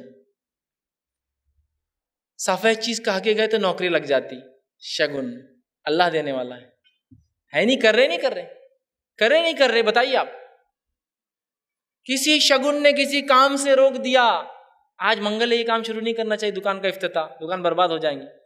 شرک، شگن۔ ارے، آپ نے ہفتے کے دن شادی طے کر دیا آپ کی بچی کی طلاق ہو جائیں گی اس کی تو۔ شگن۔ کر رہے نہیں کر رہے؟ تھوڑا اللہ سے کر رہے ہیں۔ بھائی، شادی طے ہو رہی ہے۔ میں چھوٹی بتا رہا ہوں، ابھی تو بڑے لیول تک جاؤں گا تو مشکل ہو جائیں گے چھوٹے بتا رہا ہوں۔ ابراہیم علیہ السلام کی قوم کا کبھی واقعہ یاد کیجیے کہ انہوں نے تاروں کو دیکھا۔ ہاں سورج آیا نکل کے کہا ہاں یہ یہ یہ میرا رب ہے۔ ستاروں کو دیکھا اور کہا، یہ میرا رب ہے ہے نا؟ قوم نے کہا ہاں یہ میرا رب ہے، سمجھانے کے لیے۔ صبح آئے بولے، کہاں ستارے تمہارے چلے گئے؟ میں ایسوں کو رب نہیں مانتا۔ چاند آرے نہیں بولی یہ تھوڑا چاند بڑا ہے۔ یہ رب ہے تو قوم نے بولی ہاں ابراہیم، یہ رب ہے ہمارا علیہ السلام۔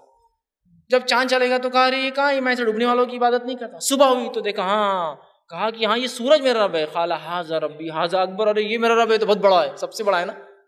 جب رات ہوئی ڈوب گیا تو کہا میری خام، میں ڈوبنے والوں کی عبادت نہیں کرتا، اگر میری، میرا رب مجھے ہدایت دے تو میں تو گمراہ ہو جاؤں گا۔ انی وجہ تو وجی علی لذیفت میں اپنے چہرے کو پھیرتا ہوں، زمین و آسمان کی بنا لو۔ پوری دعا آپ نے پڑھ یہ خوف، واقعہ ہم سنتے کتنا ہنستے نا۔ کیسی قامتی جاہل، جٹ تارو ستارو کیا کیا مان رہی، سورج سے یہ ہوتا۔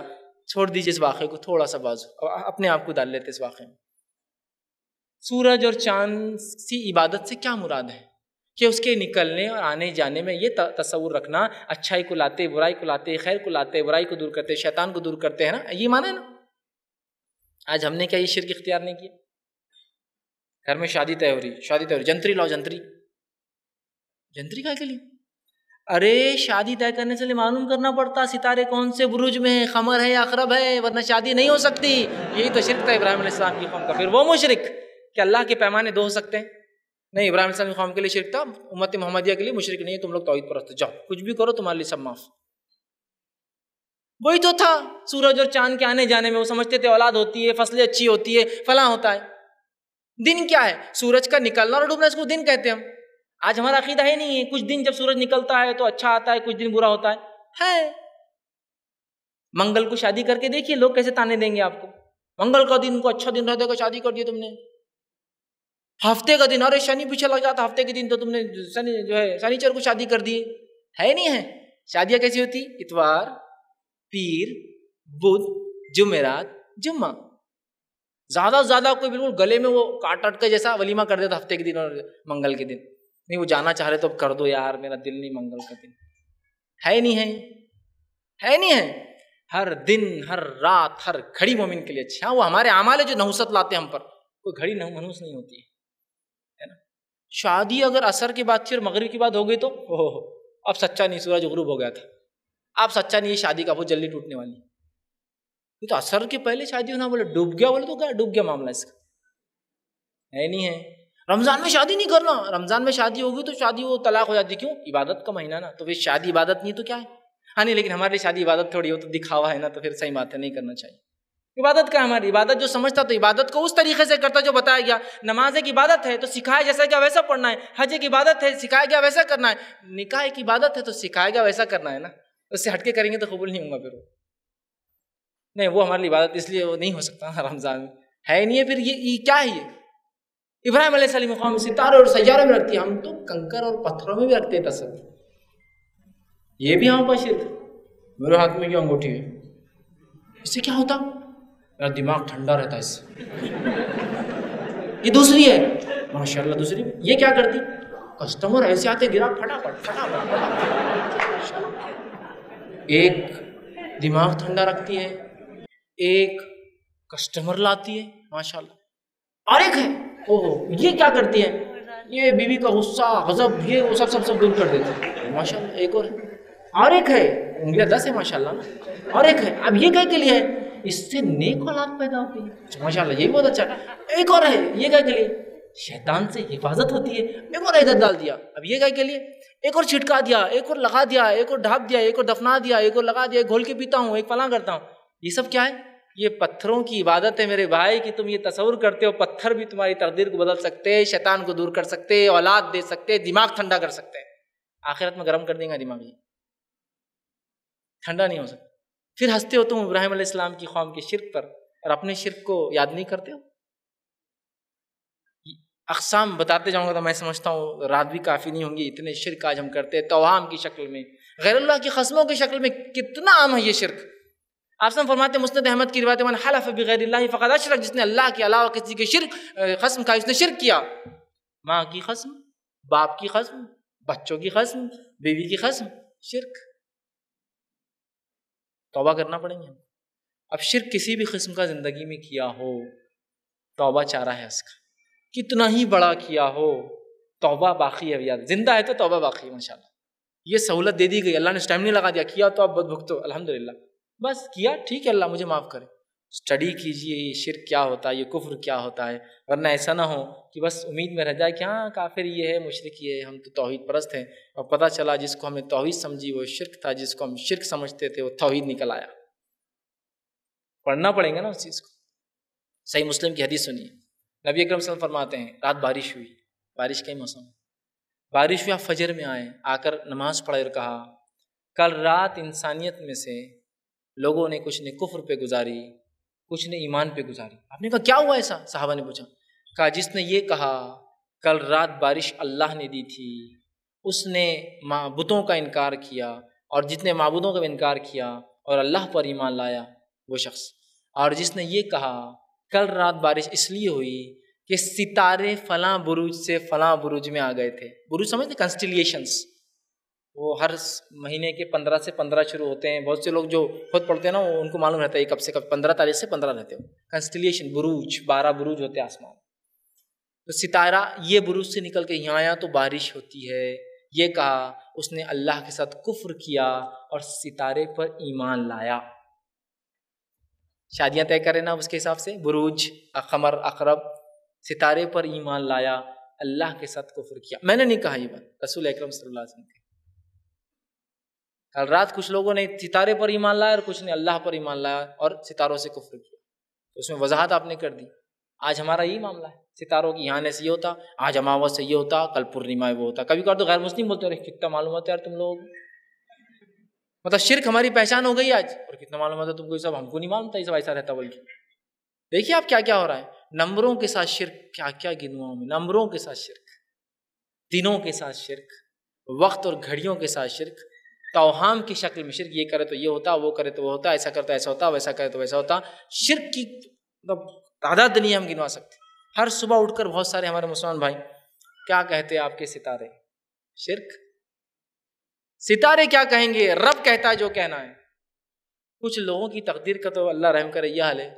کتے، بلی، گدھے اور طوطے بتاتے ہیں ان کے ساتھ کیا ہونے والا ہے۔ جو بیچارہ جانور ہے جو آ کے بیٹھا ہوا ہے۔ طوطا نکل کے آتا ہے چلتے ہوئے۔ بہت اسٹائل سے آتا ہے بیچارہ اللہ کی مخلوق ہے لیکن وہ بھی ہنستا ہوں کبھی کر کیا بات ہے، کیا مقام ہے میرا۔ یہ گدھا میرے سامنے آ کے بیٹھا ہوا ہے۔ اور میں بتا رہا ہوں، اس کو ایک جانور ہو کے کہ اس کے ساتھ کیا ہونے والا ہے۔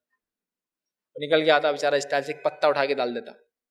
وہ لیتا، وہ بیچارہ آدمی پورے پتے بچھا دیتا پھر اس کی تمہارے پتے یہ ہے، جینا، مرنا، فلاں فلاں فلاں فلاں۔ ہوتا بہت صحیح بات۔ دو روپے میں تقدیر ماشاء دو روپے مل جاتی۔ کسی کو گدھا بتا رہا، کسی کو کتا بتا رہا۔ کہ بھائی اتنا جینے والے، اتنا مرنے والے، یہ ہونے والا، وہ ہونے والا۔ شرک۔ یہ شرک۔ بہرحال تو شرک کمانا ہے اللہ کی ذات میں، اس کی صفات میں، اس کی عبادت میں، کسی کو شریک کرنا اور اس کو ایک نہ جان کر کسی اور کو وہ طاقتیں، وہ قوتیں، وہ صفتیں، وہ صلاحیتیں، وہ ارکان، وہ کام اس کے لیے کرنا یہ تمام چیزیں شرک ہوتی ہیں۔ ہمارے لیے ضروری ہے کہ اس کو ہم شرک کیا جانیں اور اس کو اپنی زندگیوں سے مکمل طور سے جس طرح سے آپ خراب جھاڑوں کو نکال کر پھینک دیتے اپنے باغ سے، نکال کر اس کو پھینک دے ورنہ ہمارا کوئی عمل قابل قبول نہیں۔ چاہے عمل ڈھیروں میں ہو جائے، شرک ہوں گا تو کوئی عمل قابل قبول نہیں ہوتا ہے۔ السلام علیکم، میرا نام فارض بن فرج باس میں ہے۔ میرا آپ سے یہ سوال ہے، آپ نے بتایا کہ ٹوبیکو وہ سب بھی اس میں جائے وہ ہے۔ اور اب اگر اپن ایسی مسجد میں نماز پڑھ رہے، جا کے امام صاحب تمباکو کھاتے اور ان کی خود کی پان ٹپری ہے، تو کیا ان کے پیچھے نماز قبول ہوں گی؟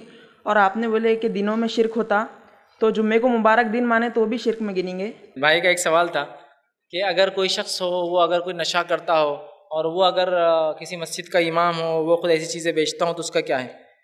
دیکھیے بہرحال کچھ گناہ ایسے ہوتے ہیں جن کا کرنا گناہ ہوتا ہے، اس سے نیکیاں یا دوسرے کام افیکٹ نہیں ہوتے ہیں۔ اور کچھ گناہ ایسے ہوتے ہیں جن کے کرنے سے نیکیاں بھی کم ہو جاتی ہے اور گناہ بھی ملتا ہے، ٹھیک؟ تو بہرحال یہ نشہ ایک گناہ ہے جس گناہ کی وجہ سے ان کے نام میں گناہ لکھا جائے گا، لیکن اس سے نیکیاں ختم ہوں گی، اس کا تعلق نہیں۔ سمجھ رہے آپ بات کو؟ نیکیاں ختم ہوں گی۔ جیسا کہ نبی اکرم صلی اللہ علیہ وسلم زمانے میں ایک شخص تھے، وہ شراب پی کے آ گئے۔ ان کو سزا لگائی۔ لیکن آپ نے نہیں کہا کہ تیری نمازیں برباد، تیرے زکوٰۃ برباد، تیرا حج برباد، تیرے روزے برباد، ان کو اتنا گناہ تھا، اس کی ان کو سزا دی گئی۔ لیکن کچھ گناہ شریر میں ایسے ہیں جن کے کرنے سے گناہ بھی ملتا ہے، نیکیاں بھی ختم ہو جاتی غیبت، حسد۔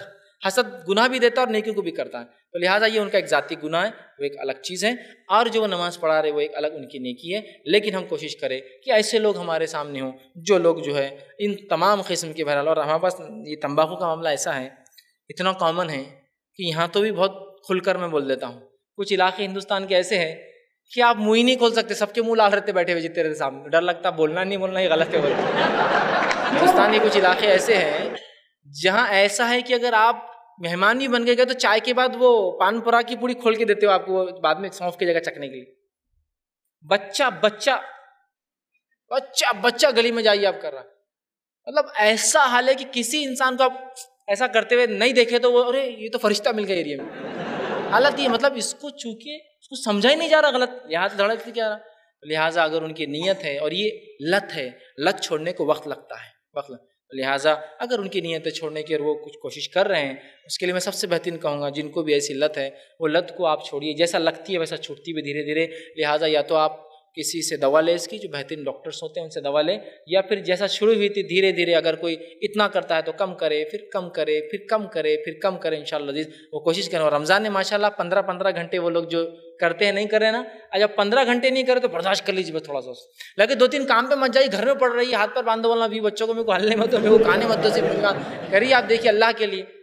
آپ دیکھیے رمضان سے جب نکلیں گے تو نہ صرف ظاہری اس سے بلکہ آپ باتی نہیں ظاہری اس سے بھی پاک ہو جائیں گے کہ عادت آپ کی لت جا چکی ہوں گی۔ اور الحمد للہ بہت سارے لوگ جب ٹھان لیتے تو وہ کرتے لہٰذا اگر وہ اس نیت میں ہے اس فیز میں ہے کہ زندگی بھر سے کھاتے آئے ہیں، ممکن نہیں ہے۔ اور میں اب کوشش کر رہا ہوں تو اللہ ان شاء اللہ امید ہے ان کی نیت کو دیکھیں گا۔ لیکن یہ ایسا گناہ نہیں جس کی وجہ سے دیگر اعمال جو ہے ان کے پیچھے نماز پڑھنے والوں کے برباد ہو جائے۔ نیکی الگ ہے اور گناہ اپنی جگہ۔ السلام علیکم۔ محمد نصیر الدین نام ہے سب سوال یہ ہے کہ معراج میں جب محمد صلی اللہ علیہ وسلم کو دوزخ دکھائی گئی، وہاں پہ کچھ اشخاص دکھائے گئے جنہیں عذاب ہو رہا تھا۔ پر ابھی قیامت قائم نہیں ہوئی ہے اور کسی کا حساب بھی نہیں ہوا ہے۔ تو پھر وہ کون لوگ تھے؟ میں نے ایک بڑا اچھا سوال کیا کہ جو حدیث کے اندر دوزخی لوگوں کو آپ نے دیکھا، بہت ساری باتیں آتی ہیں معراج میں جبکہ ابھی تو قیامت قائم نہیں ہوئی، پھر کیسے آپ صلی اللہ علیہ وسلم نے دیکھا لوگوں کو؟ تو یہ اللہ کا فضل تھا، اس کا جود اور کرم ہے۔ کہ اس نے وہ لوگ جو جہنم میں وہ عمل کر کے جائیں گے، ان لوگوں کو نبی کو بتا کر آپ کی زبانی سے ہم تک پہنچا دیا کہ وہ عمل مت کرو۔ گیا نہیں کوئی ابھی؟ جائیں گے، یہ فیوچر کی بات ہے۔ جو نبی کے ذریعے ہم کو بتا دی گئی کہ یہ اعمال کرنے والے جہنم میں جائیں گے، اللہ کا فضل بڑی بات ہے۔ یہ عمل کر لہٰذا امت اس سے چوکنی ہو جائے اور وہ عمل نہ کر یہ مانا ہے۔ اس لیے کہ ابھی تو قیامت قائم نہیں ہوئی، تو ظاہر سے لوگ جنت جہنم میں نہیں گئے۔ جو ہونے والا ہے، نبی اکرم صلی اللہ علیہ وسلم کو پہلے بتا دیا گیا، تاکہ امت کو بتا دے کہ وہ اعمال سے ہم بچے اور وہ عمل کرے جو جنت لے جاتے اور وہ عمل سے بچے جو جہنم میں آپ نے لوگوں کو دیکھا ہے۔ جیسا کہ کچھ لوگ سینے نوچ رہے تھے اپنے، کہا یہ غیبت کرنے والے ہیں۔ ایک آدمی کو آپ نے دیکھا کہ وہ خون کی ندی میں تیر رہا ہے کہا یہ سود خور ہے۔ ایک کو دیکھا الٹا لٹکا ہے جبڑے چیرے جا رہے کہا یہ وہ روزے جو روزہ چھوڑتے ہیں روزہ رکھتے نہیں بلکہ افطار کرتے ہیں۔ تو یہ وہ ہے جو ہونے والا ہے آپ کو پہلے ہی بتا دیں۔ شکریہ۔ جی۔ السلام علیکم۔ میرا سوال یہ ہے کہ اللہ کی رحمت زیادہ ہے تو دوزخ میں نو سو ننانو اور جنت میں ایک کیوں؟ بھائی نے ایک سوال کیا کہ اللہ کی رحمت تو اس کا فضل تو زیادہ ہے۔ لیکن پھر نو سو ننانوے کے تعلق حدیث میں جو آتا ہے، وہ جہنم میں کیوں اور ایک جنت میں کیوں؟ تو دیکھیے اللہ کا رحم اور فضل تو بہت زیادہ ہے، لیکن مسئلہ یہ ہے کہ ہم جو ہے اپنے اعمال کو ایسا نہیں بنا رہے جس کی وجہ سے اللہ کا رحم، فضل ہم پر ہو۔ دونوں ہی باتیں اپنی جگہ ہے اللہ نے جنت کے لیے کچھ شرائط لگا دی ہے جہنم کے لیے کچھ کنڈیشنز بتا دیے ہیں۔ ہمارے لیے ضروری ہے کہ ہم ان کنڈیشنز کو فالو کریں جو جنت میں لے جاتی ہے اچھے اعمال کریں، تاکہ اللہ کا فضل ہم پر ہو۔ اس لیے کہ اللہ نے، اللہ کا فضل انہیں پہ ہو سکتا ہے جو توحید پر انتخاب، توحید پر مرے۔ سمجھے بات؟ جنہوں نے قبائر سے جو ہے توبہ کی، تو وہی ہوں گا۔ ظاہر سی بات، اس کا مطلب یہ ہے کہ لوگ گناہ کریں گے، رب سے توبہ نہیں کریں گے، جس کی وجہ سے اس کے فضل کے وہ مستحق بھی نہیں ہوں گے اور ان پر رحم بھی پھر نہیں کیا جائے گا۔ لیکن ایک اور حدیث ہے جس میں آپ نے اس کی اور وضاحت کی، وہ حدیث کے الفاظ اس طرح سے ہے کہ جب صحابہ نے کہا اللہ کے رسول، کیا نو سو ننانوے جہنم میں جائیں گے ایک؟ تو آپ نے کہا خوش ہو جاؤ، وہ نو سو ننانوے جو ہے، وہ جو ہے یاجوج اور ماجوج سے ہوں گے اور وہ ایک جو ہے، وہ ابن آدم میں سے ہوں گا۔ ٹھیک ہے؟ بہرحال لیکن اب ان حدیثوں کو کیسے ہم سمجھیں؟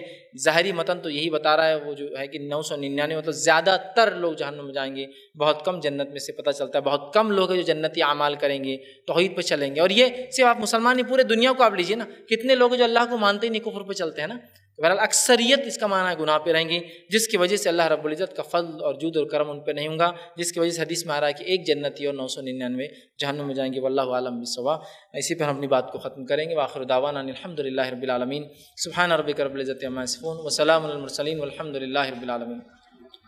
ان شاء اللہ تعالیٰ کل کے عناوین جو رہیں گے، آپ اس کو سنتے جائیں۔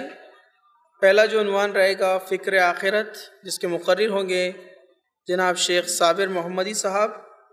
جس کا وقت ہوگا انشاءاللہ ساڑھے دس سے سوا گیارہ۔ انشاءاللہ تعالیٰ سوا گیارہ سے جو دوسرا عنوان رہے گا، جہنم میں لے جانے والے اعمال۔ جس کے مقرر ایڈوکیٹ فیض سید صاحب رہیں گے۔ آپ لوگوں سے گزارش ہے کہ آپ وقت پر آئے اور اپنے جان پہچان والے دوست، احباب اور گھر والوں کو ضرور لائے تاکہ وہ اس سے فائدہ حاصل کر سکے جزاک اللہ خیر واخر دعوانا الحمد للہ رب العالمین۔